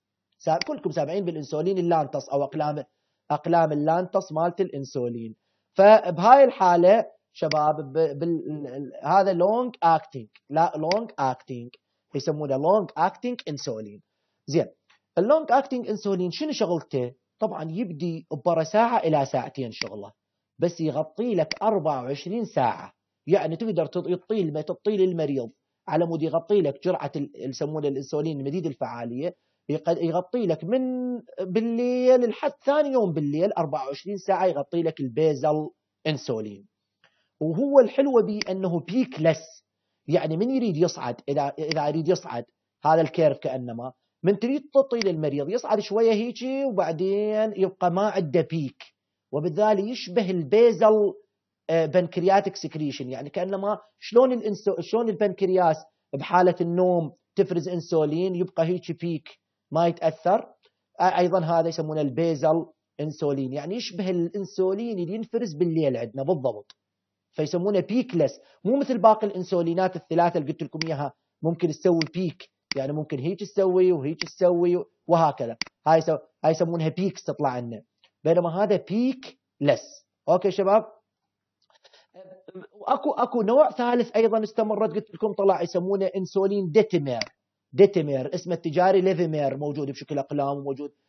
detemir هذا ال detemir كل شيء ما سووا جابوا هذا نفس الانسولين نفس ال sequence. ال 51 amino acid ربطوا وياهم فد فد fatty acid long chain fatty acid myristic acid يسمونه. ربطوا myristic acid به طلع إن هذا ال detemir اللي هو آه يسمونه long acting insulin. وهذا ال long acting insulin فرقه عن القبل اللانتوس شنو؟ هذا نعطيه كل 24 ساعة يعني يطول 24 ساعة وهم peakless اثنين peakless وبينما هذا يطول 12 ساعة. يعني ممكن نعطيه مرتين باليوم. على مود يغطي لك جرعة يعني مالت الليل أو ال basal insulin مرتين باليوم. okay؟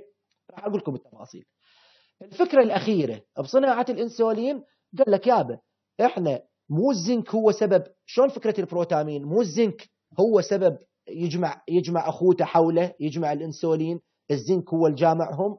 فلذلك ليش ما نضيف كميات بعد من الزنك؟ إذا أضفنا كميات كبيرة من الزنك هالمرة راح تطول فعالية الإنسولين. لذلك طلعوا لنا واحد مديد الفعالية اسمه insulin zinc suspension. insulin zinc suspension. هذا أيضا مديد صحيح مو كلش هذا طبعا جزء منه آه، حسب كمية هاي يسمونه لنتي وألترا لنتي حسب كمية الزنك واللي محطوط به. أوكي شباب؟ مو كل الشائع هذا. أريد واحد يسألني بيكم. يقول لي يا شباب يا دكتورنا العزيز آه ياهو أحسن واحد بيهم؟ ذن الحكي اللي حكيته أنت. ياهو الأحسن واحد بيهم نقدر إحنا نستخدمه لمريضنا. والله جوابي لك صراحة ماكو واحد أحسن. كل واحد عنده صفاته وكل واحد له حاجته. كل واحد صفاته وكل واحد له حاجته. مثلا هذا ال regular insulin هذا الأزرق ال regular هذا يصعد ويطلع لي peak هنا شوف هنا في هذا ال peak مالته. وبرا نص ساعة. شوف هذا يبدي الأكشن مالته برا نص ساعة ويظل تقريبا في خمس أربع خمس ساعات هنا وينزل يختفي. بينما هذول ال aspart وال lispro وال glulisine صحيح يبدأ من وقت هنا وأيضا ينتهي من وقت maximum لحد فد ثلاثة إلى أربع ساعات. ال NPH هذا مالتنا اللي بيه كان بروتامين جماعة Hagedorn سواه هذا أيضا هنا ال peak مالته ويستمر تقريبا 12 إلى 16 ساعة. عندنا اثنين واحد يسمونه هذا شوف هذا ال glargine اللي هو لانتوس سميته هذا اللي هو peakless شوف هذا glargine الأحمر. هذا شغله بالضبط بالضبط نفس شو نفس كأنما البنكرياس دا تفرز إنسولين بوقت ماكو أكل. يعني يسمونه basal insulin بوقت ماكو أكل. والبنكرياس أكيد تفرز إنسولين على مود تغطي الجلوكوز اللي يطلع من ال liver فقط. فتعطي foundation بسيط أو background insulin يسمونه. فهذا ما عنده peak وهذا كلش حلو لأنه ما دام ما عنده peak راح ما يسوي hyper hypoglycemia ال detemir هم long acting insulin detemir وأيضا هذا ال detemir تقريبا 12 ساعة كل 12 شوف 12 ساعة يفيك بال 12 ساعة. يفيك بس ال peak مالته قليلة مو كلش عالية هم نقدر نعتبره peakless طيب بما أنه ذني كل واحد عنده صفات معينة الشركات إيش إجت إيش قالت؟ قالت إحنا ليش ما نمزجهن كلهن نمزجهن؟ يعني بيناتهن يصير مزج. وننطي للمريض جاهز نعطيه كل واحد ناخذ صفات هذا الزينة وصفات هذا الزينة ونطلع لنا فد mixture طلعوا لنا ال Mixtard ال Mixtard هذا ال Mixtard insulin premix يسمونه formulation ال Mixtard هو عبارة عن قاموا يمزجون نسب مختلفة. مثلا ياخذون هذا ال NPH ويحطون وياه regular 70% NPH 70% NPH و30% regular طلع عندنا الإنسولين 70 30 أو 75 25 أو 50 50 وهكذا. كل وحدة كل إنسولين وإلى صفاته ونحن من نركز بيهن نعرف كل واحد اللي قدام صارت عندنا عرفنا كل واحد وشنو ال duration وشنو أساسه وأساس تصنيعه. بالتأكيد أنتم راح تراجعوها المحاضرة وتسمعوها بعدين وتشوفون ال slides تصير سهلة عليكم. طيب. إحنا هنا نعم نعم.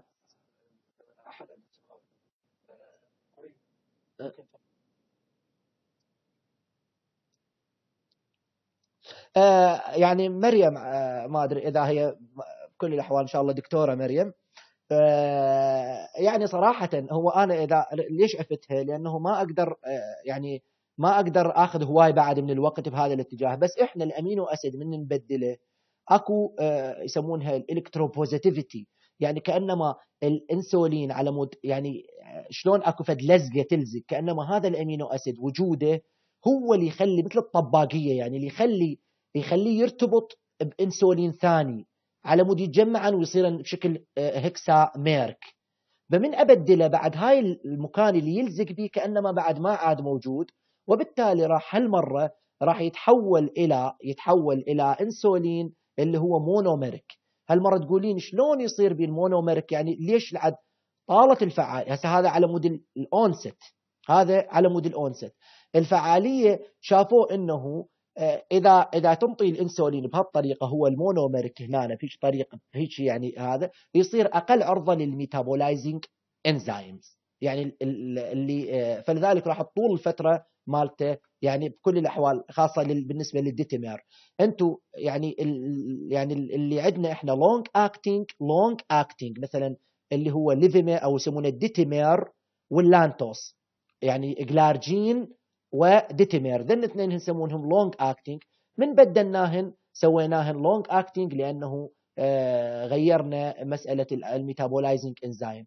أما مسألة ال lispro مسألة ال aspart اللي إحنا من حكينا عليها مسألة ال glulisine ذن الثلاثة اللي قصرت ال onset قصر ال onset مالتهن بس ال duration مالتهن هم قليلة مو هواية. بهاي الحالة لأنه إحنا حولناهن إلى monomer يعني أنا اعطيت الفكرة العامة والتفاصيل تروحين تقرين آه، أكو كتاب يسمونه biotechnology به تفاصيل كثيرة إنه هو آه، يعني شنو هاي الاساس العلمي مالته okay؟ طيب. هنا شباب. عف...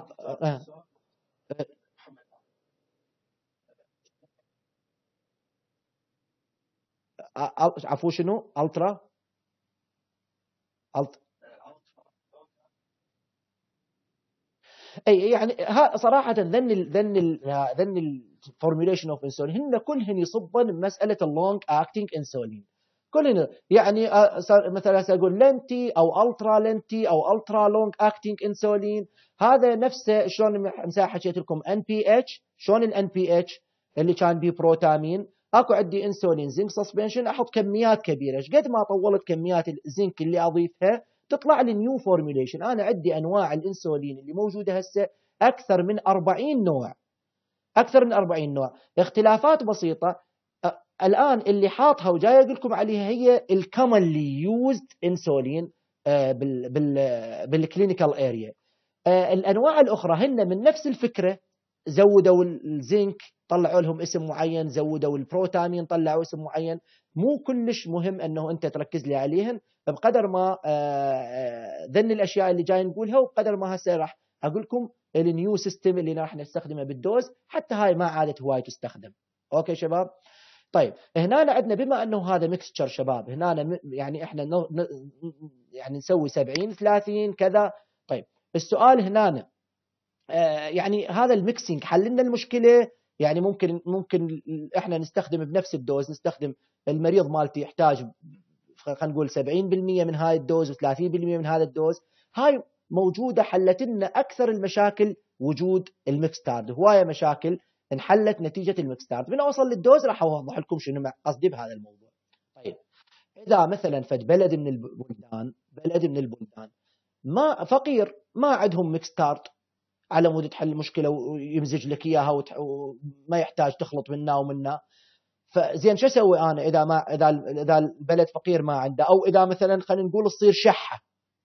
شحة بعض الأحيان بالصيدليات نتيجة ال Mixtard ال Mixtard لأنه أكثر المرضى تفضل ليش تروح تجيب من هذا ومن هذا وتخلط ومشاكل الخلط؟ فيستخدمون الشركة نفسها مسويت لنا شيء جاهز.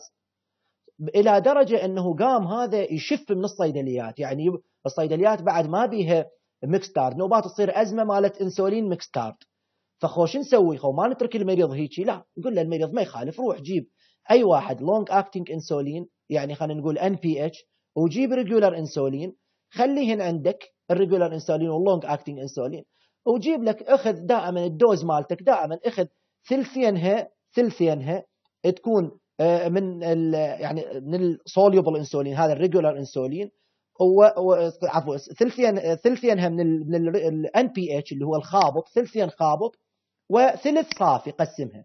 ثلثين خابط وثلث صافي.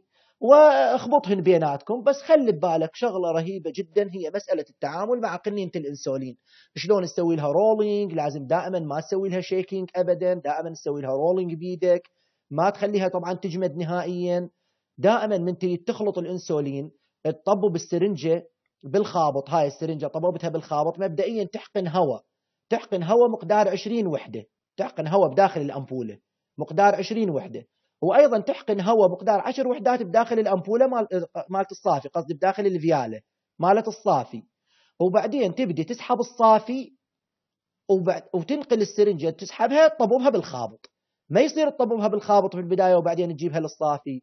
نهائيا دائما من نريد نخلط نخلط الصافي بالبداية نسحبه وبعدين الخابط. يعني نخلط صافي على خابط مو خابط على صافي. دا هاي قاعدة جوهرية دائما نختار بالإنسولين نريد نسوي له mixing إذا ما عندنا Mixtard insulin. okay؟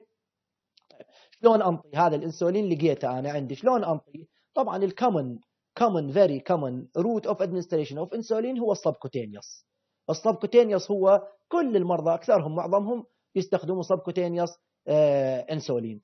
ما عدا بالحالات ال emergency like ال ketoacidosis مثلا ال pregnant women ال infection مو مو بس هذا يعني مثلا أكثر شيء بالمستشفى بال hospitalization بعض الأحيان نستخدم IV insulin يعني IV insulin إذا مثلا عندنا آه، يعني حالة بال emergency أو ketoacidosis أو infection أو surgery ذن stressful situations نعطيهم عبارة عن insulin IV insulin أما البقية فنستخدم لهم subcutaneous insulin فهذا ال conventional شوف هذا conventional أكو طبعا لا زالت التجارب قائمة. تطلع لنا يوميا فد شغلة. أكو inhaler أكو مثلا خلينا نقول آه، يعني عن طريق pulmonary أو nasal أو intradermal أو transdermal أو buccal ذن الأشياء كلهن آه، ممكن أيضا يعطونا enteral يعني oral orally بس هذا كلها تحت ال investigation لحد الآن. ما طالعة ونتمنى في يوم من الأيام تطلع لنا فد حباية انسولين وتخلصنا. يعني يسووا لها فد بتكنولوجيا معينة بحيث ما تتاذى بانزيمات المعدة ويخلصون المريض خطيه من الشكات المتعددة.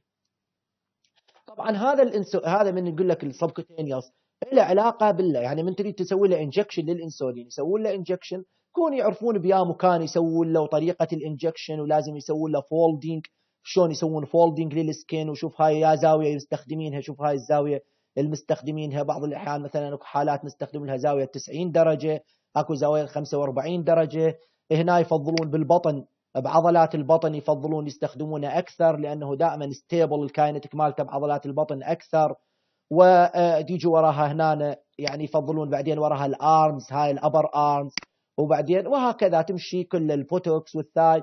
ذن المكانات اللي بيصير بها injections ودائما ينصحونا دائما يسوون rotation لل site of لل site of injection على مود ما تطلع لنا ال side effect مالت الإنسولين اللي وحدة منهن هي ال allergy وحدة منهن يسمونه lipodystrophy dystrophy وال dystrophy بحيث يصير hypertrophy للمنطقة أو تصير آه، يعني dystrophy آه، نفسها للمنطقة. كل هاي الأشياء ممكن هي side effect of insulin فنتجنب وضع ال injection آه، لازم نغير مكانها دائما. وأكو أساليب لل rotation حتى ما ادوخكم فيها. مثلا دائما هيك إذا تخيلنا هاي البطن فنمشي هيك مثلا هاي هنا عندنا أنا أشرت عليه. يمشون بطريقة يعني دائما بحيث حتى يتذكرها وهكذا لها سا... لها في الطريق خريطة ودائما يغير يوميا يغير المكان مالت ال injection. okay؟ طيب أريد تنتبهون لي هذا الرسم تنتبهون لي لأن مهم عندي بالدوزات. أريد تعرفون لي شنو معنى basal insulin. basal insulin. من أقول لك هذا basal insulin أو أقول لك هذا bolus insulin. bolus insulin. طبعا الشباب المتخرجين من الصيدلة وممكن من كليات أخرى ذا يشاركون. ذولا شباب آه، يعني يعرفون شنو bolus bolus يعني كأنما تجيب الأبرة وتضربها عن طريق الوريد مباشرة. bolus dose يسمونه. فهاي ال bolus insulin يعني مباشرة كأنما تعطي جرعة مباشرة لل للوريد آه، مالت المريض من أقول لك basal basal. basal يعني البنكرياس دائما البنكرياس في كل يوم البنكرياس تفرز آه، يعني وإنت هسه قاعد ما ماكل أو إنت نايم خلال طيل فترة تفرز فد إنسولين آه هذا الإنسولين ضروري على مود يغطي لك الجلوكوز اللي يطلع لك من ال liver أو الجلوكوز اللي هو مال between meal يعني ما مو مال الأكل مال فشي هو بال circulation يسبح مالتك. مو هسه أنت ماكل. يعني هذا الجلوكوز يسمونه دائما يكون ال liver دائما آه، قصدي البنكرياس دائما تفرز انسولين بكميات قليلة. هذا يسمونه ال basal insulin يعني ما يخلى دمك من الإنسولين. لأن حتى لو أنت ما ماكل هم يطلع لك انسولين من ال liver يجي لل circulation فلازم يتغطى. هذا يسمونه basal insulin. أوكي؟ ثبتوها ببالكم رجاء. basal insulin. bolus insulin شنو؟ تخيلوا يا هسه لحد الآن إحنا جاي نحكي فيزيولوجي. ال bolus insulin من تتريق من تتغدى ومن تتعشى. أكيد هالمرة البنكرياس راح تفرز إنسولين نتيجة ال response للريوق وللغداء وللعشاء. هاي الكمية من البنكرياس الكمية من الإنسولين اللي يطلع لك من البنكرياس مباشرة لل circulation على مود يغطي لك ريوق غداء عشاء. هاي يسمونها bolus insulin. كأنه مباشرة شلون دا يضرب من البنكرياس دا تضرب الكمية مالتها لل circulation يسمونه bolus insulin. فهمت لي شنو المفهوم مال شنو معنى basal وشنو bolus؟ هاي مهمة نأسس عليها شغلة الجرعات. bolus insulin و basal insulin. أوكي؟ زين. إحنا عندنا على مود هذا من فهمنا هذا الفهم صار عندنا فهم واضح. للفيزيولوجي شو نسوي على مود إحنا ننطي الجرعه مالتنا مال المريض؟ هنا نتعلم الفن فن حساب الجرعة. هنا مو قلنا لكم the art of insulin dosing هذا الحكي كله إحنا افتهمنا. شنو الإنسولين وشنو أنواعه وكذا بس على مود نجهزكم على مود بالفرشة مو هو art فن يراد لك فرشة ويراد لك لوحة ويراد لك أصباغ. هالمرة تعال أصبغ. طيب أنت عرفت ال basal وعرفت هذا عرفت الفيزيولوجي شلون يشتغل؟ رحم الله والديك. طيب هالمرة إحنا هدفنا بعلاج مرضى ال diabetes على مود نعطيهم فشي بالضبط المفروض يشبه ما يحدث بجسمهم. حتى إحنا نكون mimic ال physiological pattern يعني نقول إحنا نشابه ال ال ال يعني أنا يعني أحاول قدر الإمكان أسويها بالعربي لأن ما أعرف اللي يسمعوني منه صراحة. فيعني بعضهم خاف طلاب بعدهم بالبداية. فالمهم النتيجة إنه إحنا نحاول نشابه يعني طريقة الجسم بعمل الإنسولين. اذا شلون؟ يقول لك أول شغلة من عندك diabetes تنتبهون لي هنا رجاء انتباه كلش قوي. عندك مريض دا أبو diabetic. أول ما اجى المريض تريد تحسب له جرعة الإنسولين. هسه سوى الشخص type 1 diabetes. وأنت تريد تحسب له جرعة الإنسولين. طيب سواء type 1 أو type 2 بس أو أول مرة لازم تعرفه هو type 1 لو type 2 عرفت؟ كانما هو type 1 diabetes. خلي ببالك انت عندك standards على مود تحسب الجرعة مالتهم مال الانسولين. بالوجه أول ما يجي تخلي ببالك أرقام مقدسة أرقام مقدسة. initial dose المريض مالتك 0.3 إلى 0.5 كل كيلوغرام تنطيه 0.3 إلى 0.5 يابا إذا نسيت خاف تنسى 0.3 إلى 0.5 ثبت على 0.5 ما ما عندنا مشكلة. هسه هم بعضهم أحيانا يستخدمونه 0.4 بعض الأحيان 0.5 بس أنت على مود تسهل سهولة الحسابات يعني ما هواي تطلع فرق. ثبت على 0.5 0.5 unit per kilogram هذا تحسب لك ال total daily dose هذا الرمز خليه ببالك. هذا الرمز خليه ببالك. دائما يمر عليك. total daily dose of insulin أكو كتب تكتبه تي دي اي تي دي اي توتال ديلي انسولين سواء شفته تي دي اي أو تي دي دي ما عندك مشكلة. total daily insulin أو total daily dose of insulin أوكي شباب هذا رقم هذا دائما الرمز خليه ببالك. زين total daily dose of insulin شو تريد تحسبه أنت راسا تخلي بالك. type 1 diabetes هذا بال... تو جاي يعني قصدي هو متشخص وهو انيشيالي الطبيب يريد مثلا تسوى هذا ويكتب له. إذا إذا تنسى هو ما ما تدوخ بالحسابات. وإيش قد ما تشوف وزن المريض قسمه على اثنين. مثلا مريضك مريضك وزنه 80 كيلو. مريضك وزنه 80 كيلو. وأنت مغمض قسم ال 80 على اثنين يعني يحتاج باليوم 40 40 وحدة من الإنسولين. منين جبناها؟ جبناها من هاي هذا قلنا 0.3 إلى 0.5 أخذنا 0.5 لسهولة الحسابات. زين point بالكيلوغرام كل كيلوغرام يعني كل كيلوغرام 0.5 معناها 80 في 0.5 يطلع لنا 40 international unit of insulin هذا ال total daily dose of insulin هذا يعني بصورة عامة. يعني هذا اللي لازم ياخذها على طول اليوم. لحد الآن ما عارفين شلون ننطيها ويا نوع من الإنسولين نستخدمه. هاي لحد الآن ما مسوينها. إحنا ما عارفين. هسه نجي نعرفها. بس أنت أول ما يجي ببالك شيء اسأل نفسك تقول شنو هذا؟ إيش قد راح أحط المريض هذا؟ كم وحدة إنسولين؟ راح تحسب ال total daily dose of insulin أكو شغلة تنتبهون لها اسمها honeymoon honey هاي honeymoon phase honeymoon شنو شباب؟ honeymoon على مود خاف تمر عليك بكتاب. ال honeymoon المريض أبو ال type 1 diabetes؟ مو المفروض توقف عنده ال beta cell بالبنكرياس؟ بعض الأحيان توقف عنده ال beta cell أو أمثلها لكم مثال. عندكم بالبيت گلوب يرمش يريد يحترق يريد ينطفي. يريد ينطفي بس بعد ما منطفي. مرات ينطفي بحيث تصير شوية ظلمة وحتى أنت كأنما تضطر تشغل گلوب ثاني. وافتراضا يعني هسه الگلوبات كنا مشغلينها أو أو وساعة الساعة اشتغل. ساعة الساعة. فهاي ال beta cell مثل اللي ترمش.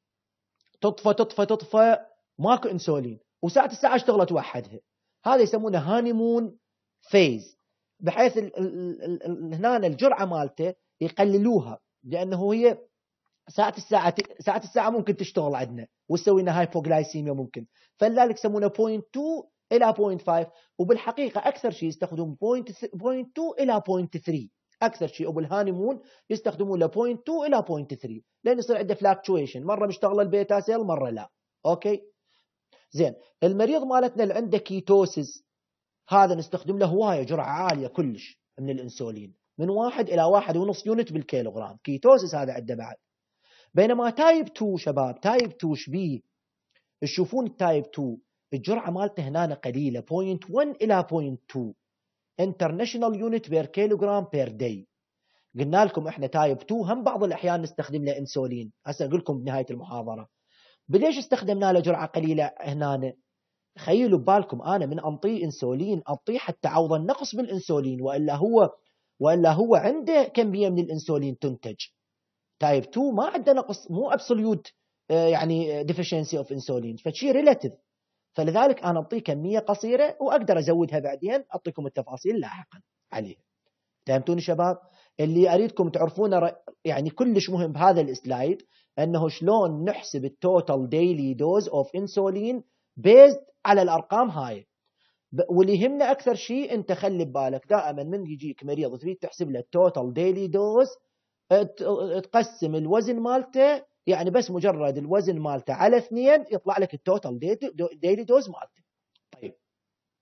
شلون ننطيها؟ طلعت لي طلعت لي 40 طلعت هاي اللي قلنا عليها هسه 40 آه يعني unit 40 unit طلعت للمريض زين 40 unit شلون أنطيها؟ ويا نوع من الإنسولين أختاره وأنطيها بيا شكل. عندنا الطريقة القديمة انتبهوا لها رجاء. خاف واحد مثل والده قرابته هاي هاي المحاضرة أصلا حتى حتى عامة الناس ممكن أيضا يستفيدون من بعض الأشياء منها. فاذا الأول system يسمونه ال system الاولي قبلنا اللي كان يسمونه R and N system أو يسمونه صافي وخابط صافي والخابط. بعدهم يستخدمونه بس هو اول system شوية. زين هذا شو يستخدمونه؟ صافي صافي وخابط. ال NPH ال NPH هو الخابط مالتنا مال Hagedorn هذا اللي يسمونه neutral protamine Hagedorn ال NPH ونخلط وياه الصافي اللي هو regular insulin اللي هو ال human insulin NPH و human insulin هذا كلش بس مجرد نخبطهن. شلون نخبطهن؟ بها طريقه خلي نفترض طبعا حسب هذا هسه هذا مثلا مريضنا مو مو type مريضنا مثلا مو على أساس ال point 5 حسبوا له تريد تحسب له على أساس ال point 5 تحسب له على أساس ال point 5 بس فد حالة معينة مثلا هو المريض مالتنا مثلا بال type 2 ومزودين له شوية مطينا point 3 طالع عندنا أبو ال 80 هذا أبو ال 80 قبل قبل لا نوصل لهنا قبل لا. أنت عندك هسه المريض مالتك المريض مالتك هو تحسبت له ال total daily dose of insulin بالوجه جيب ال total daily dose of insulin جيبها قسمها إلى ثلثين بثلث. ال total daily dose of insulin قسمها إلى ثلثين بثلث. خلي أنا من ساعه اللي أنا قلت لكم 40 unit ما أنا راح أخذ المثال مالتي ما له علاقة بال slide هذا. هذا الت... طلعت لي 40 unit لأن المريض مالتي هو 80 كيلوغرام. 80 كيلوغرام. وأنا قسمته على اثنين لأنه اعتمدت على ال point 5 per kg point 5 per k على اثنين العفو على اثنين طلع لي 40 unit okay؟ ال 40 unit مبدئيا اقسمها مبدئيا أقسمها إلى قسمين. قسمين. يعني ثلثين اثنين على ثلاثة اثنين على ثلاثة بثلث واحد على ثلاثة. okay؟ هاي ثلثين بثلث. طيب الثلثين هاي مالتي هم أقسمها ثلثين بثلث. هاي هنا ثلثين بثلث. هاي ثلثين وهاي ثلث. هذا هنا ثلثين. يعني هذا شوفوا هنا العفو. هذا الثلثين الثلثين اللي اعطيتهم هنا أعطيهم بالليل ليلا. أول وحده هذا ليلا نعتبرهن أول ثلثين قسم. وهذا صباحا. أوكي؟ هاي اعطيتهم صباحا. طيب صباحا شلون هذا الثلث؟ الثلث اقسمه ثلثين بثلث أيضا. ثلثين. هنا بثلث. أوكي؟ عفوا بالعكس هاي ليلى لا غلطت أنا هذا ليلى يعني قصدي أنا أقصد شنو؟ آه. صباحا لأنه يغطي لك اليوم كله. صباحا هنا زين. اقسمه ثلثين بثلث بثلثين بثلث. ها هم واحد على ثلاثة. واحد على ثلاثة. أرجوكم لا تدوخون بها الأربعين جبتها قسمت ثلثين قسمتها ثلثين بثلث. يعني هنا هاي ثلثين صباحا وثلث مساء. بعدين هاي الثلث جرعة الصباحا أيضا ثلثين بثلث ثلثين بثلث. ثلثين منها شوفوا ثلثين منها هاي هنا ثلثين أعطي NPH الخابط. أو ثلث هذا هنا الثلث أنطي الصافي regular insulin ثلثين وهنا ثلثين بثلث اللي هو جرعة الليل. هذا خابط وهذا صافي. ما بها شيء. أرجي هنا للمكون مالتي. هنا طلعت لي هذا المريض هنا المثال. طلعت 24 unit. عوفوا ذاك المثال الأخير. هم نرجع مثال آخر. 24 unit. ال 24 unit هنا أقسمها ثلثين الصبح وثلث بالليل. شوفوا ثلثين الصبح ثلث بالليل. ال 24 إذا أقسمها ثلثين آه، ثلثين يعني 16 unit الصبح انطي للمريض 16 unit. وبالليل انطيه 8 unit ات طيب هاي 16 unit شلون أجيب الصافي والخابط؟ أسحب من الصافي ثلث بالسرنجة أسحب من الصافي ثلث ثلث ثلث ال 16 يعني 6 ثلث ال 16 يعني 6 أسحب من الصافي وبعدين أطبه بالسرنجة هاي جرعة الصبح وأطبه بالسرنجة بالخابط أسحب 10 unit ات. النتيجة يصير 16 وحدة. خلاص إجتني جرعة الليل. أنا already هي ثمانية أنا محددها لي قدامي اللي هي جرعة الليل ثمانية. أقسمها ثلثين بثلث اطبه بالسرنجة بالصافي أسحب 2 unit. وبعدين اطبوها بالخابط أسحب 6 unit ات وبالتالي المجموع 8 وأزرقها للمريض. النتيجة الكلية إيش راح تصير عندي؟ ال total daily insulin بهذا مثالنا 24 unit. بهذا المثال الثاني النتيجة الكلية 40 unit. ال simple is هذا النظام القديم النظام القديم. إذا عاد تعطيها بال old system اللي ما عاد هواي متبع ما عاد كلش هواي متبع. بس إذا عاد تعطيها بال old system هذا ال old system مالتنا. okay؟ طبعا طبعا إذا هذا هنا يسمونه بعض الأحيان split method split method بعض الأحيان split split يعني منفصلة. يعني مو الاسم الجاي split هيك split method شنو split يعني؟ يعني أنا انطي جرعة الليل منفصلة عن جرعة النهار. جرعة الليل وما لها علاقة بالأكل. جرعة الليل منفصلة عن جرعة النهار. وما لها علاقة شو وقت مو مو من تاكل مثلا تخليها ويا الغداء ويا العشاء ويا الريوق وكذا. لا تعطي جرعة الصبح جرعة بالليل. ما لك علاقة.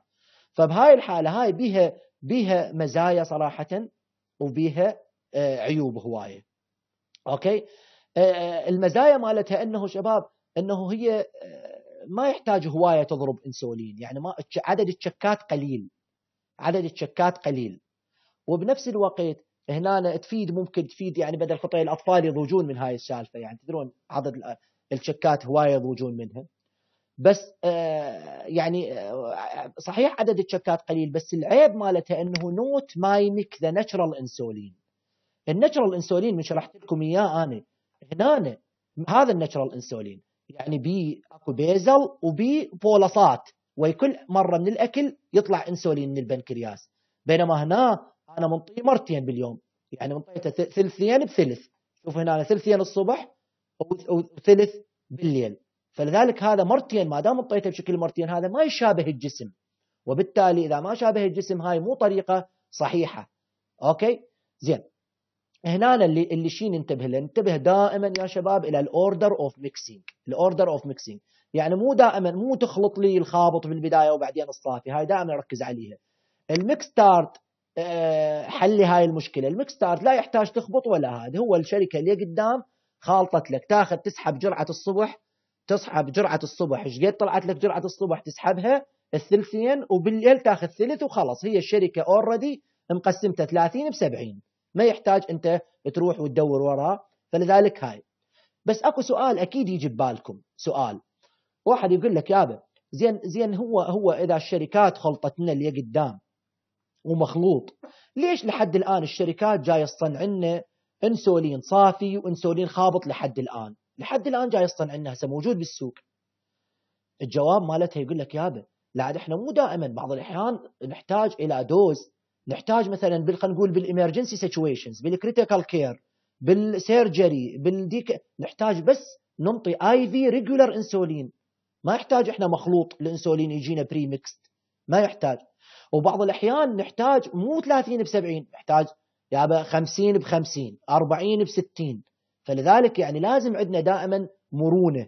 إضافة إلى ذلك مو كل الدول عندها إمكانية توفر لك دائما premixed إحنا الحمد لله بالعراق موجود عندنا. بس كثير من الدول الفقيرة ما عندها فلذلك هاي هذا الصافي والخابط رخيص وهواية generic companies ممكن تصنعه موجود ومتوفر وين ما كان. النظام الجديد شباب هسه إحنا كنا المبدأ الأول شوية وشوية وياكم، أول شيء حسبنا ال total daily dose of insulin اللي هي بس مجرد عبارة عن قسمنا ال weight على اثنين وطلعت لنا ال total daily dose of insulin بالنظام القديم قسمناها إلى ثلثين بثلث ونقدر نعطيها من ال Mixtard خلاص وما خلصنا أو كل وحدة نقسمها أيضا إلى ثلثين وثلث مرة ثانية ونزرقها.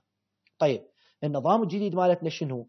من طلعت لنا هاي ال analog الجديدة مالت الإنسولين الحلوة هاي الجديدة مثلا اللي هو ال aspart اللي هو ال insulin lispro ال insulin glulisine ذن الأشياء كلش شجعنا نستخدم نظام يسمونه basal bolus insulin basal bolus ال basal bolus من ساعة من شرحت لكم ال insulin secretion بال physiology.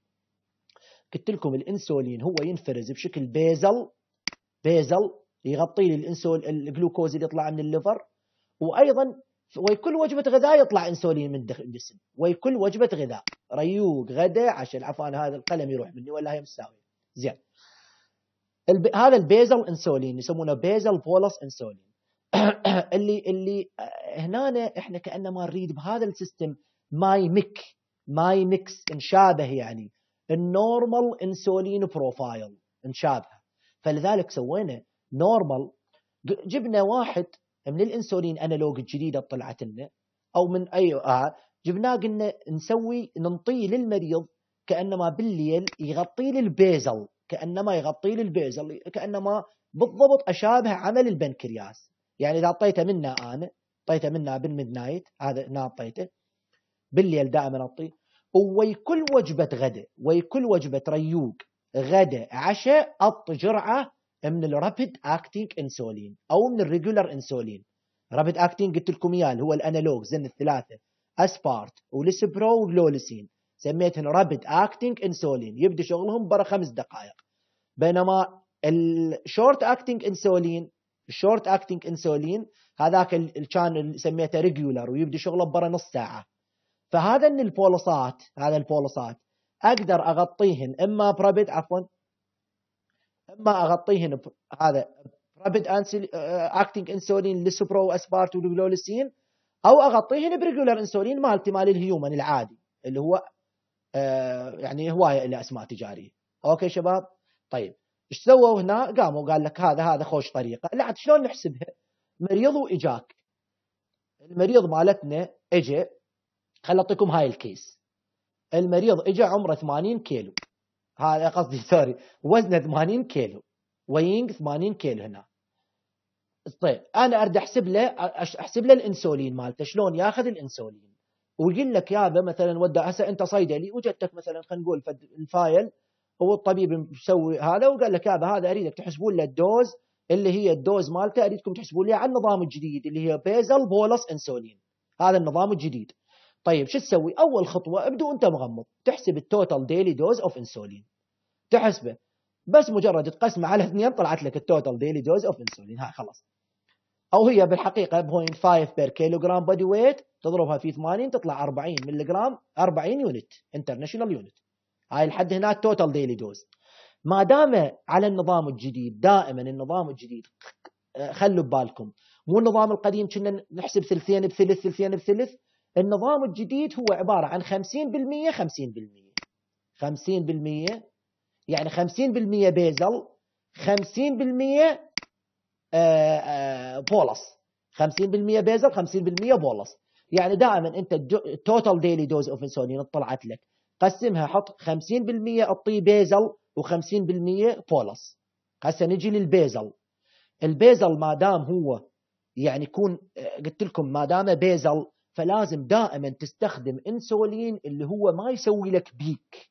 ما يسوي peak. يعني مثل مثل ما قلت لكم يكون نشابه البنكرياس. ال basal insulin مال البنكرياس هو ما بي peak يمشي مستمر هيك هذا الكير ويمشي هيك يمشي حتى يغطي لك الانسولين يغطي لك الجلوكوز اللي ينفرز من ال liver أو مال between meal okay؟ طيب هنا يا اللي عندنا الانسولين اللي هو peakless peakless insulin ما بي peak أو هو مديد الفعالية. يقول لك الانسولين تذكر اثنين نوعين عندي أنا من الانسولين peakless اللي هو واحد منهم glargine أهم واحد glargine اللي هو اللانتس ال glargine هذا كلش peakless يعني ويستمر بالجسم لمدة 24 ساعة. والثاني أخوه يسمونه detemir detemir اللي هو Levemir اسمه التجاري. بس detemir هذاك مشكلته إنه شوية بي peak وخلال لازم هم الجرعة مالت ال basal هم تخليها مرتين باليوم ما مفضل صراحة. بس لو فيما لو موجود أيضا ممكن أستخدم detemir detemir. okay؟ اسمه detemir ترجعون اسمه زين.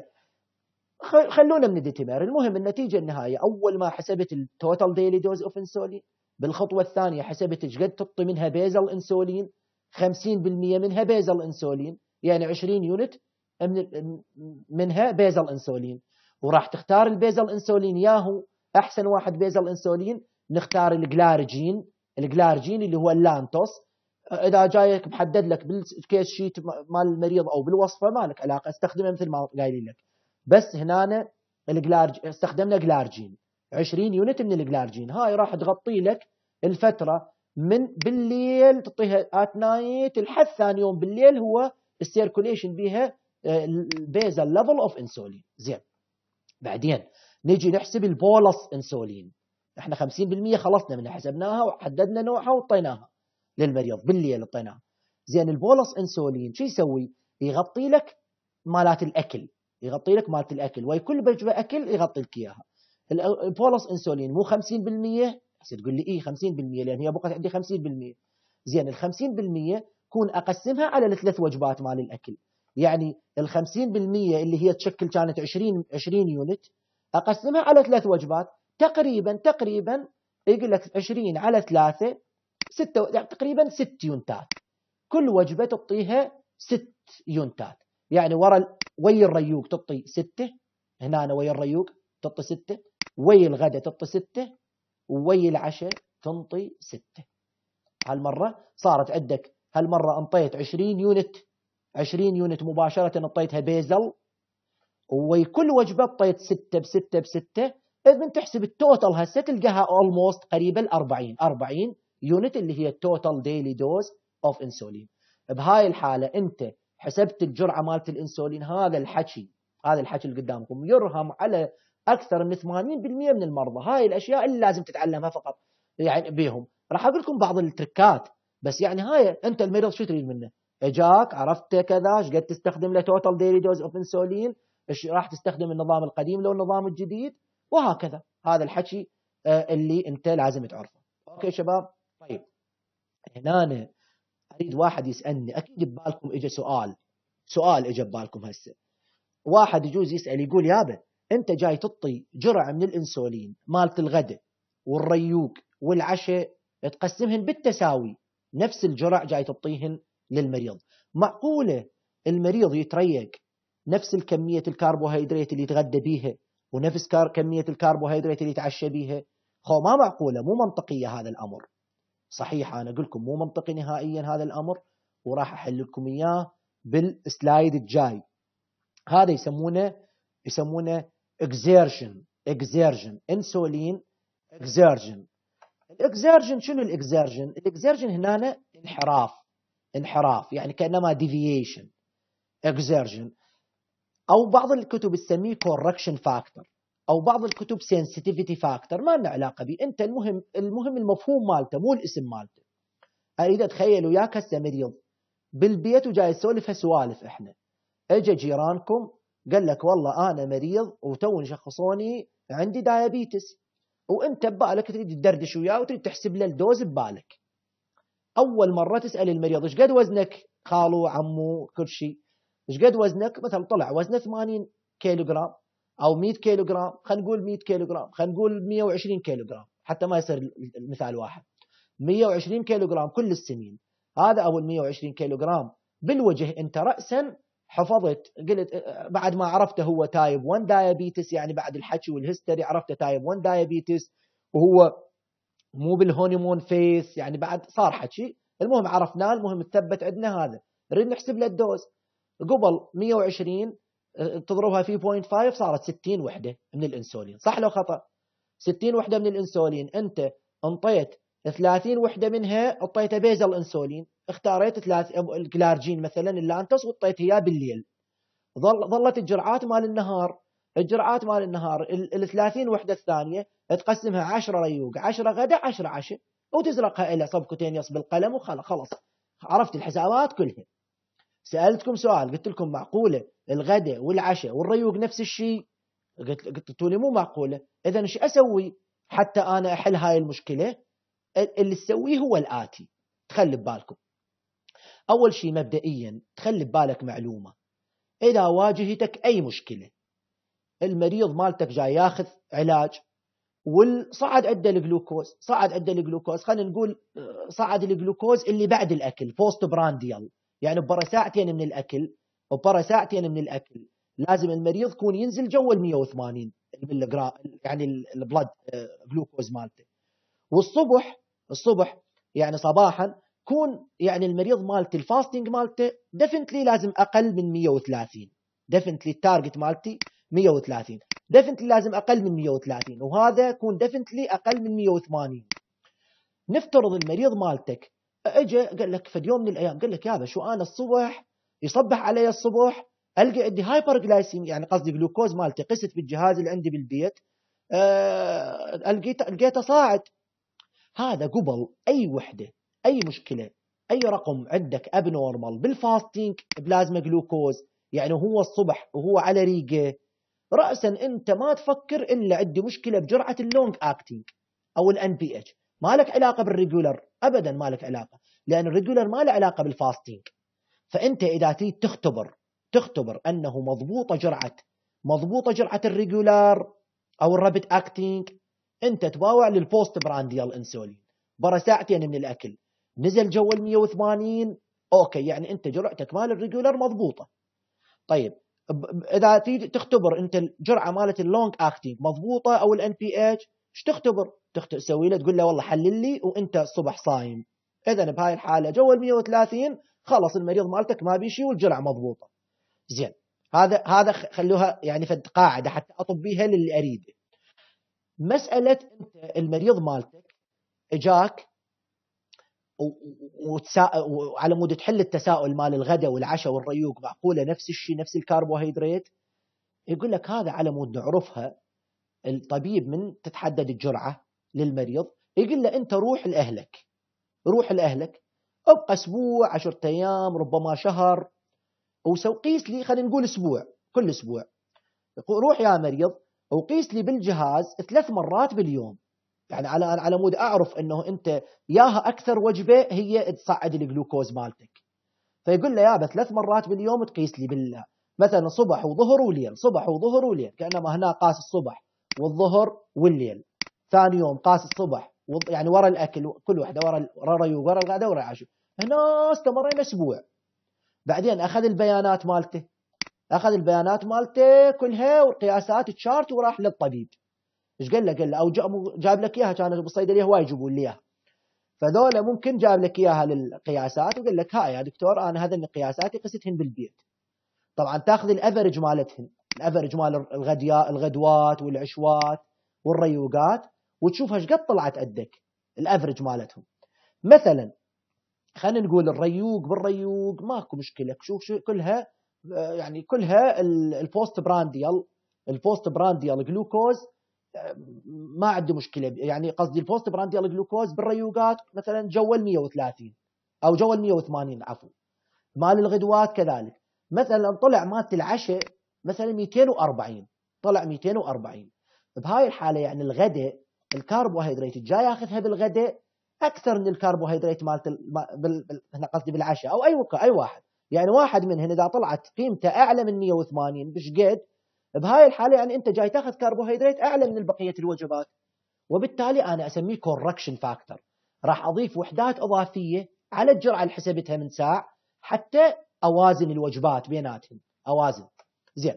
مبدئيا على مود مبدئيا هاي الشغلة اللي أوازن بيها أو أسوي correction factor يسمونها 1500 rule 1500 rule أو قاعدة 1500 1500 إذا مريضي أباوعه إذا هو ياخذ regular insulin يعني الإنسولين مالته ريجولر مو الإنسولين اللي هو analog اللي هو ال aspart ذاك أسميه rapid acting ال aspart و glulisine وال lispro وذولاك أسميهم rapid acting أقصد الإنسولين اللي كنت أسميه الصافي. إذا ياخذ regular insulin خلص إذا regular insulin أطبق عليه قاعدة 1500 هذا. شنو قاعدة 1500 يقول لك قاعدة 1500 قسم ال 1500 على ال total daily dose مالته. اجاك هو قال له سأله قال له أنت إيش قد تستخدم انسولين باليوم؟ قال لك أنا أستخدم 50 unit محددين لي 50 unit أنت بس قول 1500 على 50 يساوي 30 شنو معنى ال 30 هاي شباب؟ معناها هاي ال 30 هل قد milligram per deciliter كل وحدة انسولين ممكن تنزل. كل وحدة انسولين تنزل لك هل قد الرقم 30 milligram per deciliter. قد ما يطلع الرقم هنا؟ هيك معناها. طيب خل أعطيك مثال على مود ما اتيهك جاك مريض جاك مريض. المريض مالتك هو ياخذ ثلاث ياخذ 50 unit. هاي 50 unit total daily dose وأنت قال لك يا أنا أريد أضبط الجرعة حسب ال correction factor يعني الغداء والعشاء بعض الأحيان شو يصعد عندي. أو مثلا فهو قايس مثلا جاب لك ال chart مالته الريوق مالته ال average طلع 97 قصدي قصدي ال fasting قبل هذا قبل الريوق. ال breakfast طلع 115 ال lunch طلع 240 ال lunch زين ال dinner 112 بهاي الحالة أنت باوعت لهم كلهن. عندك مشكلة بال fasting لا ضمن ال target عندك مشكلة بال breakfast لا ضمن ال target عندك مشكلة بال dinner لا ال dinner ضمن. المشكلة اللي عندي أنه هذا طالعة زيادة اللي هو ال lunch. معناها هو بالغداء يضرب تشريب ويضرب آه، فشي زيادة وبالتالي ما معقولة أنا أساوي عدد الوحدات بينه وبين الريوق. فش يحتاج يحتاج أضيف لي كم وحدة حتى أوازن. أوازن الجرعة مالته اللي حسبتها من ساع. طيب هو جايتك هو قال لك أنا أستخدم لانتوس ال glargine هو يستخدم 25 وال Actrapid Actrapid اسم هو هذا الاسم التجاري مالت ال مالت ال regular insulin regular insulin هذا ال Actrapid اللي هو human insulin Actrapid ال human insulin يعني اذا هو يستخدم regular insulin يعني هنا ال short acting مالته regular insulin طيب regular insulin بهاي الحالة يا قاعدة استخدم أستخدم قاعدة قاعدة 1500 1500 على مود آه، أحسب له ال correction factor مالته. إيش قد أضيف له؟ 1500 على 50 طلع لي 30 ملي جرام 30 ملي جرام معناها كل وحدة إنسولين تنزل لي 30 ملي جرام من من من هاي الزيادة اللي عنده طلعت لي زيادة. طيب بالنسبة للغداء الغداء مالتي أنا بما إنه هو واصل 240 واصل 240 أنا شو ببالي؟ ببالي انزله جوا ال 180 كافي عليه انزله جوا ال 180 post prandial كافي عليه اذا الفرق عندي بين ال 240 اللي هو واصلها. للي اريده أنا ال target 160 عندي 60 60 milligram per deciliter 60 هاي ال 60 هي اللي نسميها ال excursion factor هذا ال 60 هو مقدار الانحراف عن ال target مالتي. فبالتالي أكون أعطيه انسولين اللي ينزل لي هاي ال 60 الزايدة عنده بالغداء.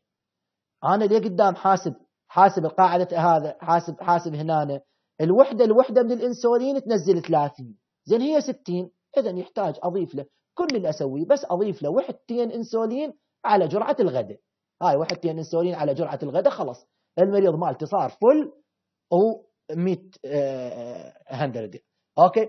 فذني الأشياء الأشياء اللي اللي تشوفونهم أنتم قدامكم شغلات بسيطة ولكن كلش مهمة على مود تضبط جرعة الانسولين للمريض. طيب إذا المريض مالتك ما ياخذ regular insulin المريض مالتك ياخذ rapid acting insulin وي وي اللانتوس، اللانتوس هسه هذا هذا ال long acting ما لنا علاقة هذا جرعة الليل إحنا ما جاي نتلاعب به، هذا جرعة ال long acting ما جاي نلعب به لأن إحنا جاي نسوي correction factor للأكل. هذا ما له علاقة بالأكل هذا له علاقة على الليل هذا basal إحنا نحكي على ال short acting أو نحكي على ال rapid acting فإذا المريض ياخذ rapid acting اللي هم insulin analogs اللي هم ال lispro وال aspart وال glulisine في هاي الحالة إيش تستخدم له قاعدة 1800 ال1000 طبعا هنا ماكو هاي فروقات بيناتهم. بالمناسبة حتى النتائج يجوز تطلع قريبة لأن تطلع كسور ونقربها.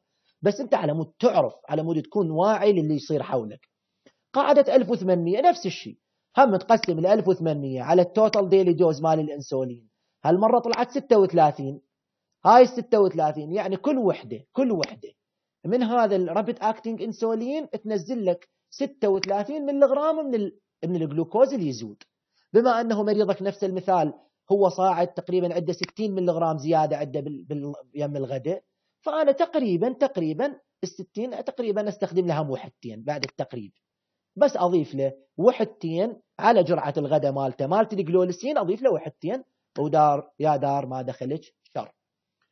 على مود بس مجرد الخصها على السريع الخص هذا كأنما من البداية عندك case. Mr. علي إن شاء الله ما يطلع واحد منكم اسمه علي. Mr. علي ال weight مالته 90 كيلوغرام.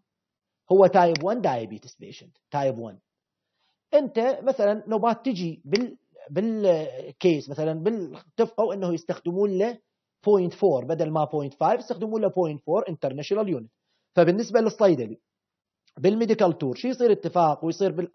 إنه هل قد عندنا راح نستخدم له 0.4 لأنه يخافون بعض الأحيان من ال hyperglycemia ما يبلشونه 0.5 بس النتيجة أنت تعطيه يقول لك احسب له ال dose على أساس 0.4 international unit per kilogram per day okay؟ واستخدم له Apidra اللي هو glulisine glulisine هذا glulisine اللي هو rapid acting insulin analog وال Lantus اللي هو ال glargine هو جايتك. إذا هسه أنت صيدلي وجدتك بهالطريقة. ويقول لك يا احسب له ال dose وضبط الهيا ولبلب الهيا بلا زحمة عليك. طيب هنا أنت أول ما يجي تجي تحسب ال total daily dose of insulin بس تضرب ال point 4 بال 90 تطلع لك 36 international unit okay؟ ال 36 international unit بما إنه على ذني مست... ذني هذا فإذا راح نستخدم النظام الجديد. نستخدم 50% ب 50% basal bolus basal bolus منين اكتشفتها من حتى من أنواع المستخدمتها لأن هذا basal insulin. زين. اذا 50% يعني معناها أقسم ال dose 36 مالتي 18 18 اعتبرها basal وطيها بس بالليل 18 وحدة basal وطيها بالليل. وال 18 الثانية اعتبرها bolus وأقسمها إلى ثلاث مرات على الوجبات. يعني راح تصير ست وجبات ست ستة international unit بريوق وغدا وعشاء. هالمرة قال لك برا شهر اجاك المريض راح له وبرا شهر جاب لك القياسات مالته. شاف ال fasting مالته ال average 100 ال breakfast 120 ال lunch 322 ال dinner 270 وهنا هالمرة يقول لك ضبط لي إياها ولو زحمة عليك ضبط لي إياها للمريض. اجاك المريض شلون تضبطها؟ بما إنه هو المريض شو يستخدم هنا؟ يا الإنسولين اللي هو مالت ال bolus. يا نوع تقول لك هذا نوع ال rapid acting اذا ال rapid acting أستخدم له قاعدة 1800 لو قاعدة 1500 لا ال rapid acting أستخدم قاعدة 1800 لو أنا قايل لك regular insulin كان أستخدمت قاعدة 1500 اذا نستخدم قاعدة 1800 نحسب له تطلع لنا هاي 1800 على 36 تطلع لنا 50 هاي 50 يعني معناها كل وحدة انسولين وحدة تنزل لي 50 ملغ من الجلوكوز بالبلازما. بما أنه هو صاير 322 بالغداء وأنا أريد اوصله لل 180 ال target مالتي بعد الغداء هنا إذا 142 تقريبا 150 يعني تقريبا 150 بما أنه كل وحدة من الإنسولين تنزل لي 50 حسب هذا هنا إذا أنا بس مجرد أضيف ثلاث وحدات من الإنسولين على جرعة الغداء مالته راح يستعدل. وهكذا نفس الحسابات أسويها للعشاء. العشاء صاعد 270 نفس الحسابات بالضبط. تلقى لك تضيف فد وحدتين من الإنسولين على جرعة العشاء وبهاي النتيجة راح أنت تضبط قياسات الإنسولين. أكو عندي فد rule مو كلش مهمة بس لا بأس أنت تقدر تحسب الإنسولين يسمونها estimating premeal insulin. شباب أبشركم ما ظل شيء رجاء أنا أتمنى والله والله أدري الموضوع كلش هذا وأدري بيكم دختوا وأدري والله أنا هم شحرجيت بس كونوا على ثقة الموضوع إذا ما يتغطى كله ما راح تكتمل الفكرة عندكم. فأنا أعتذر منكم جدا.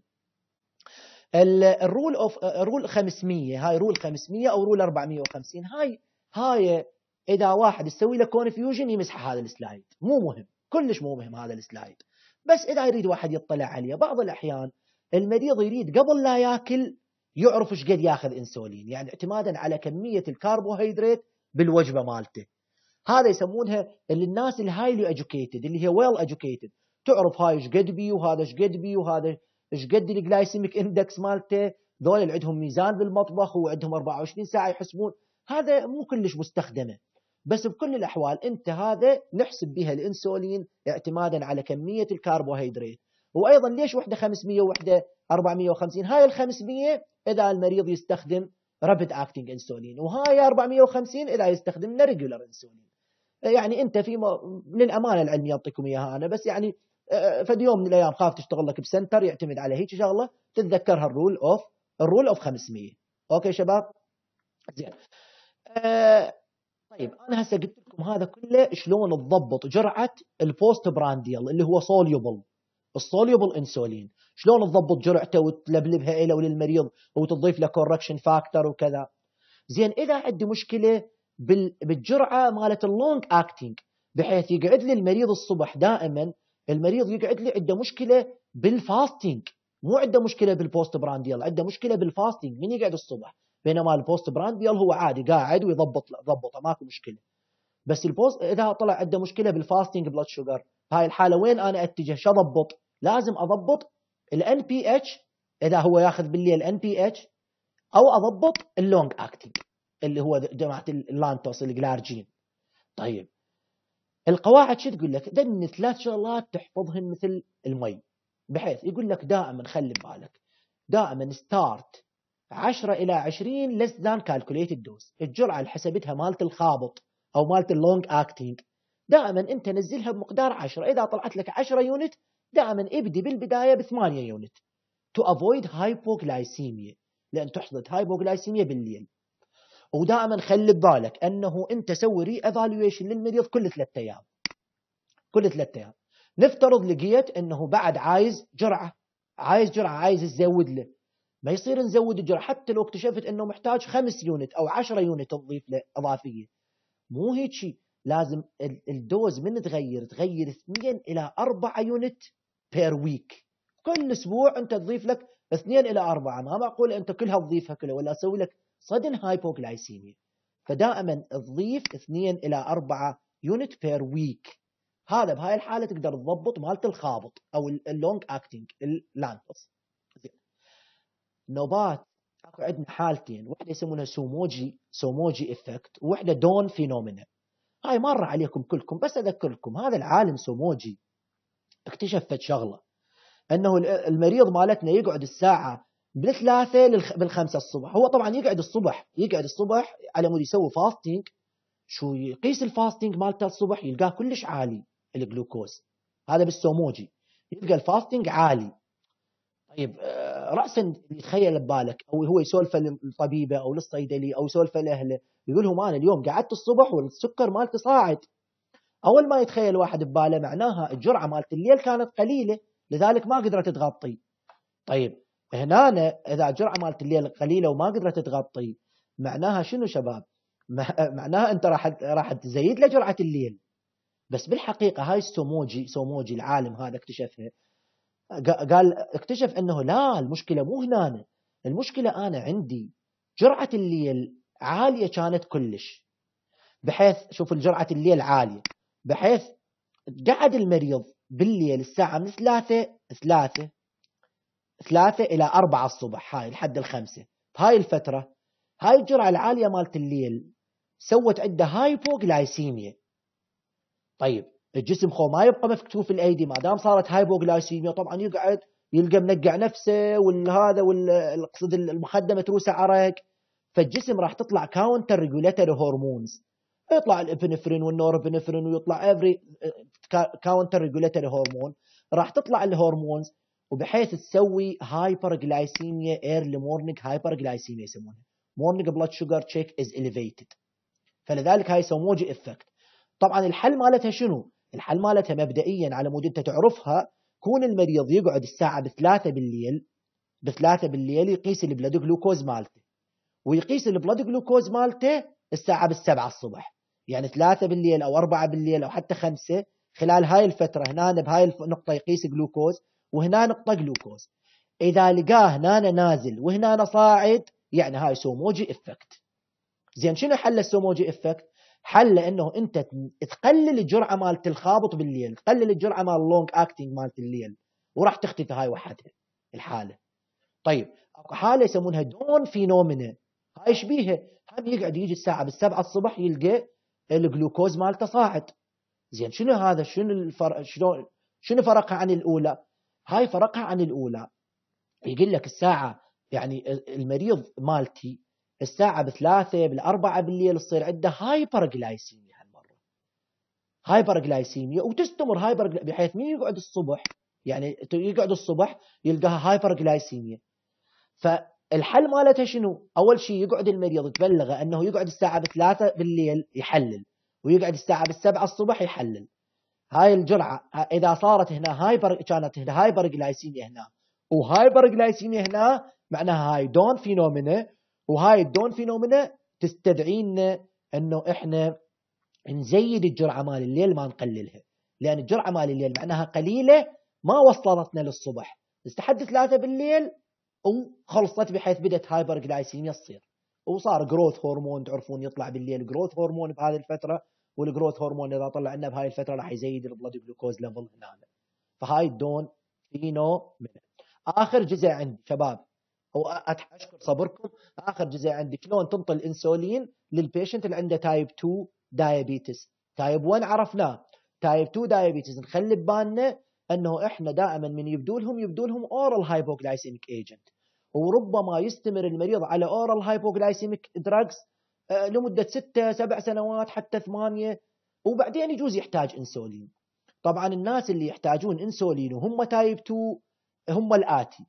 إما ذول الناس اللي صاعد عندهم كلش ال hemoglobin A1C صاعد عندهم أكثر من 10 أو الناس اللي ال random sugar blood sugar ال random العشواء من, من هذا العشوائي اللي يقيسه فوق ال 300 أو ال fasting فوق ال 250 هذا ممكن استخدم لهم إنسولين حتى لفترة مؤقتة يضبط الإنسولين وبعدين يرجع للتابلت.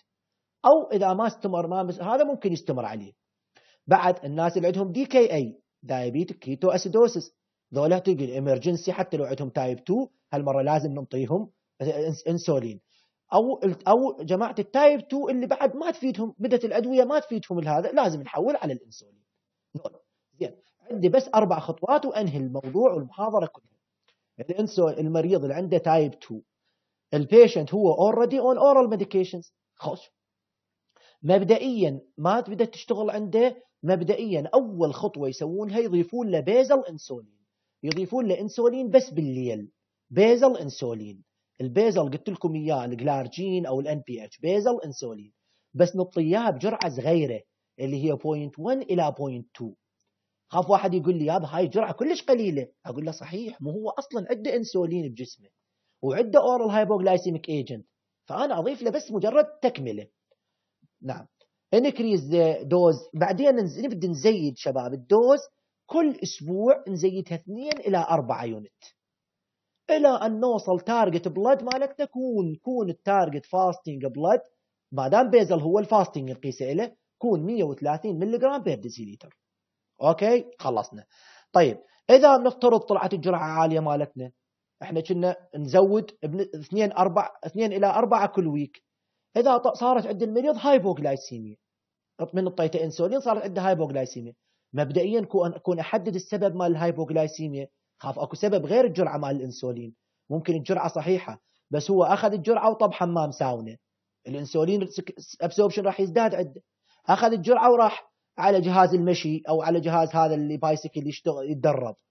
ذولا راح العضلات اللي أو المنطقة اللي ضرب بها الإنسولين العضلة راح تتحرك وبالتالي راح يصير إنسولين. هواية حالات اللي تحدد لي ال hypoglycemia سببها. بما إنه أنت مبدئيا حددت إنه ال hypoglycemia exclude every other causes هالمرة عرفت إنه أنت لازم تنزل الجرعة مالت الإنسولين. يعني ماكو سبب ثاني. طيب شلون تنزلها؟ أيضا بنفس مقدار الزيادة من ساعه 2 إلى 4 international unit per week كنت تصعد أيضا تنزل 2 إلى 4 international per week okay؟ هاي الخطوة الأولى. أول ما بلشت مريض مالتك جاي ياخذ حبوب وضفت له إنسولين. إيش قد تستمر عليها؟ ثلاث أشهر. ثلاث أشهر تمشي. تزيد تزيد تزيد. وتتابع المريض وتتباوع لل target مالتك. هاي الخطوة الأولى. الخطوة الثانية ورا ثلاث أشهر. نفترض ال hemoglobin A1C والتحاليل مالته still abnormal شو تسوي هالمرة؟ بالإضافة لل basal والأدوية مالته هالمرة إيش أضيف له؟ أضيف له إنسولين bolus. bolus يعني هذا اللي قلنا ال lispro لو ال aspart لو ال glulisine لو حتى regular. نضيف له bolus بمقدار 0.1 international units per kilogram per day 0.1 صغير. أو لا والله خلي ما دوخك ما دوخك. بس روح ضيف له هيك وانت مغمض؟ بدون حسابات ضيف له بس أربعة. international unit per day بس أربعة. عليه من عليها جرعة. بس جرعة الغداء ال main meal اللي هي ال main meal تقريبا. الغداء.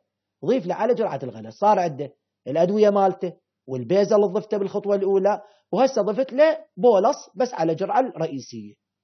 وأظل أزود واحد إلى اثنين international unit كل أسبوع.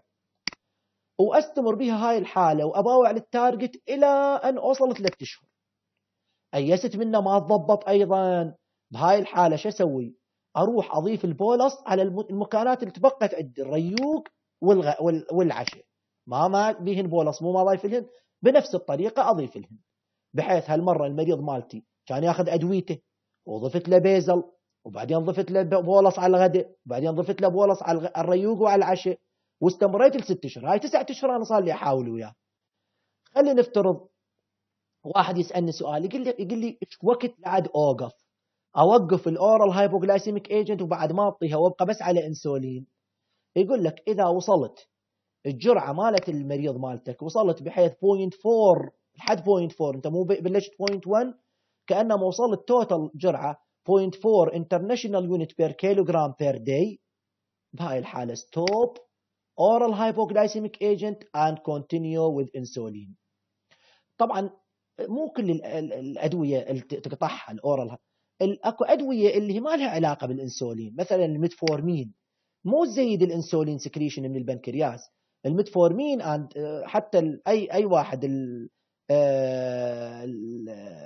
ال other insulin sensitizer يسمونه. insulin sensitizer اللي يسوي زيد ال sensitization of insulin receptor نقدر نستخدمها. فلذلك ممكن نستمر على الميتفورمين. ويا الإنسولين ميتفورمين بعضهم يأخذون مثلا الصبح وهذا وجبة الظهر ميتفورمين. فهاي يا شباب هذا اللي حكيت لكم إياه اني هسه.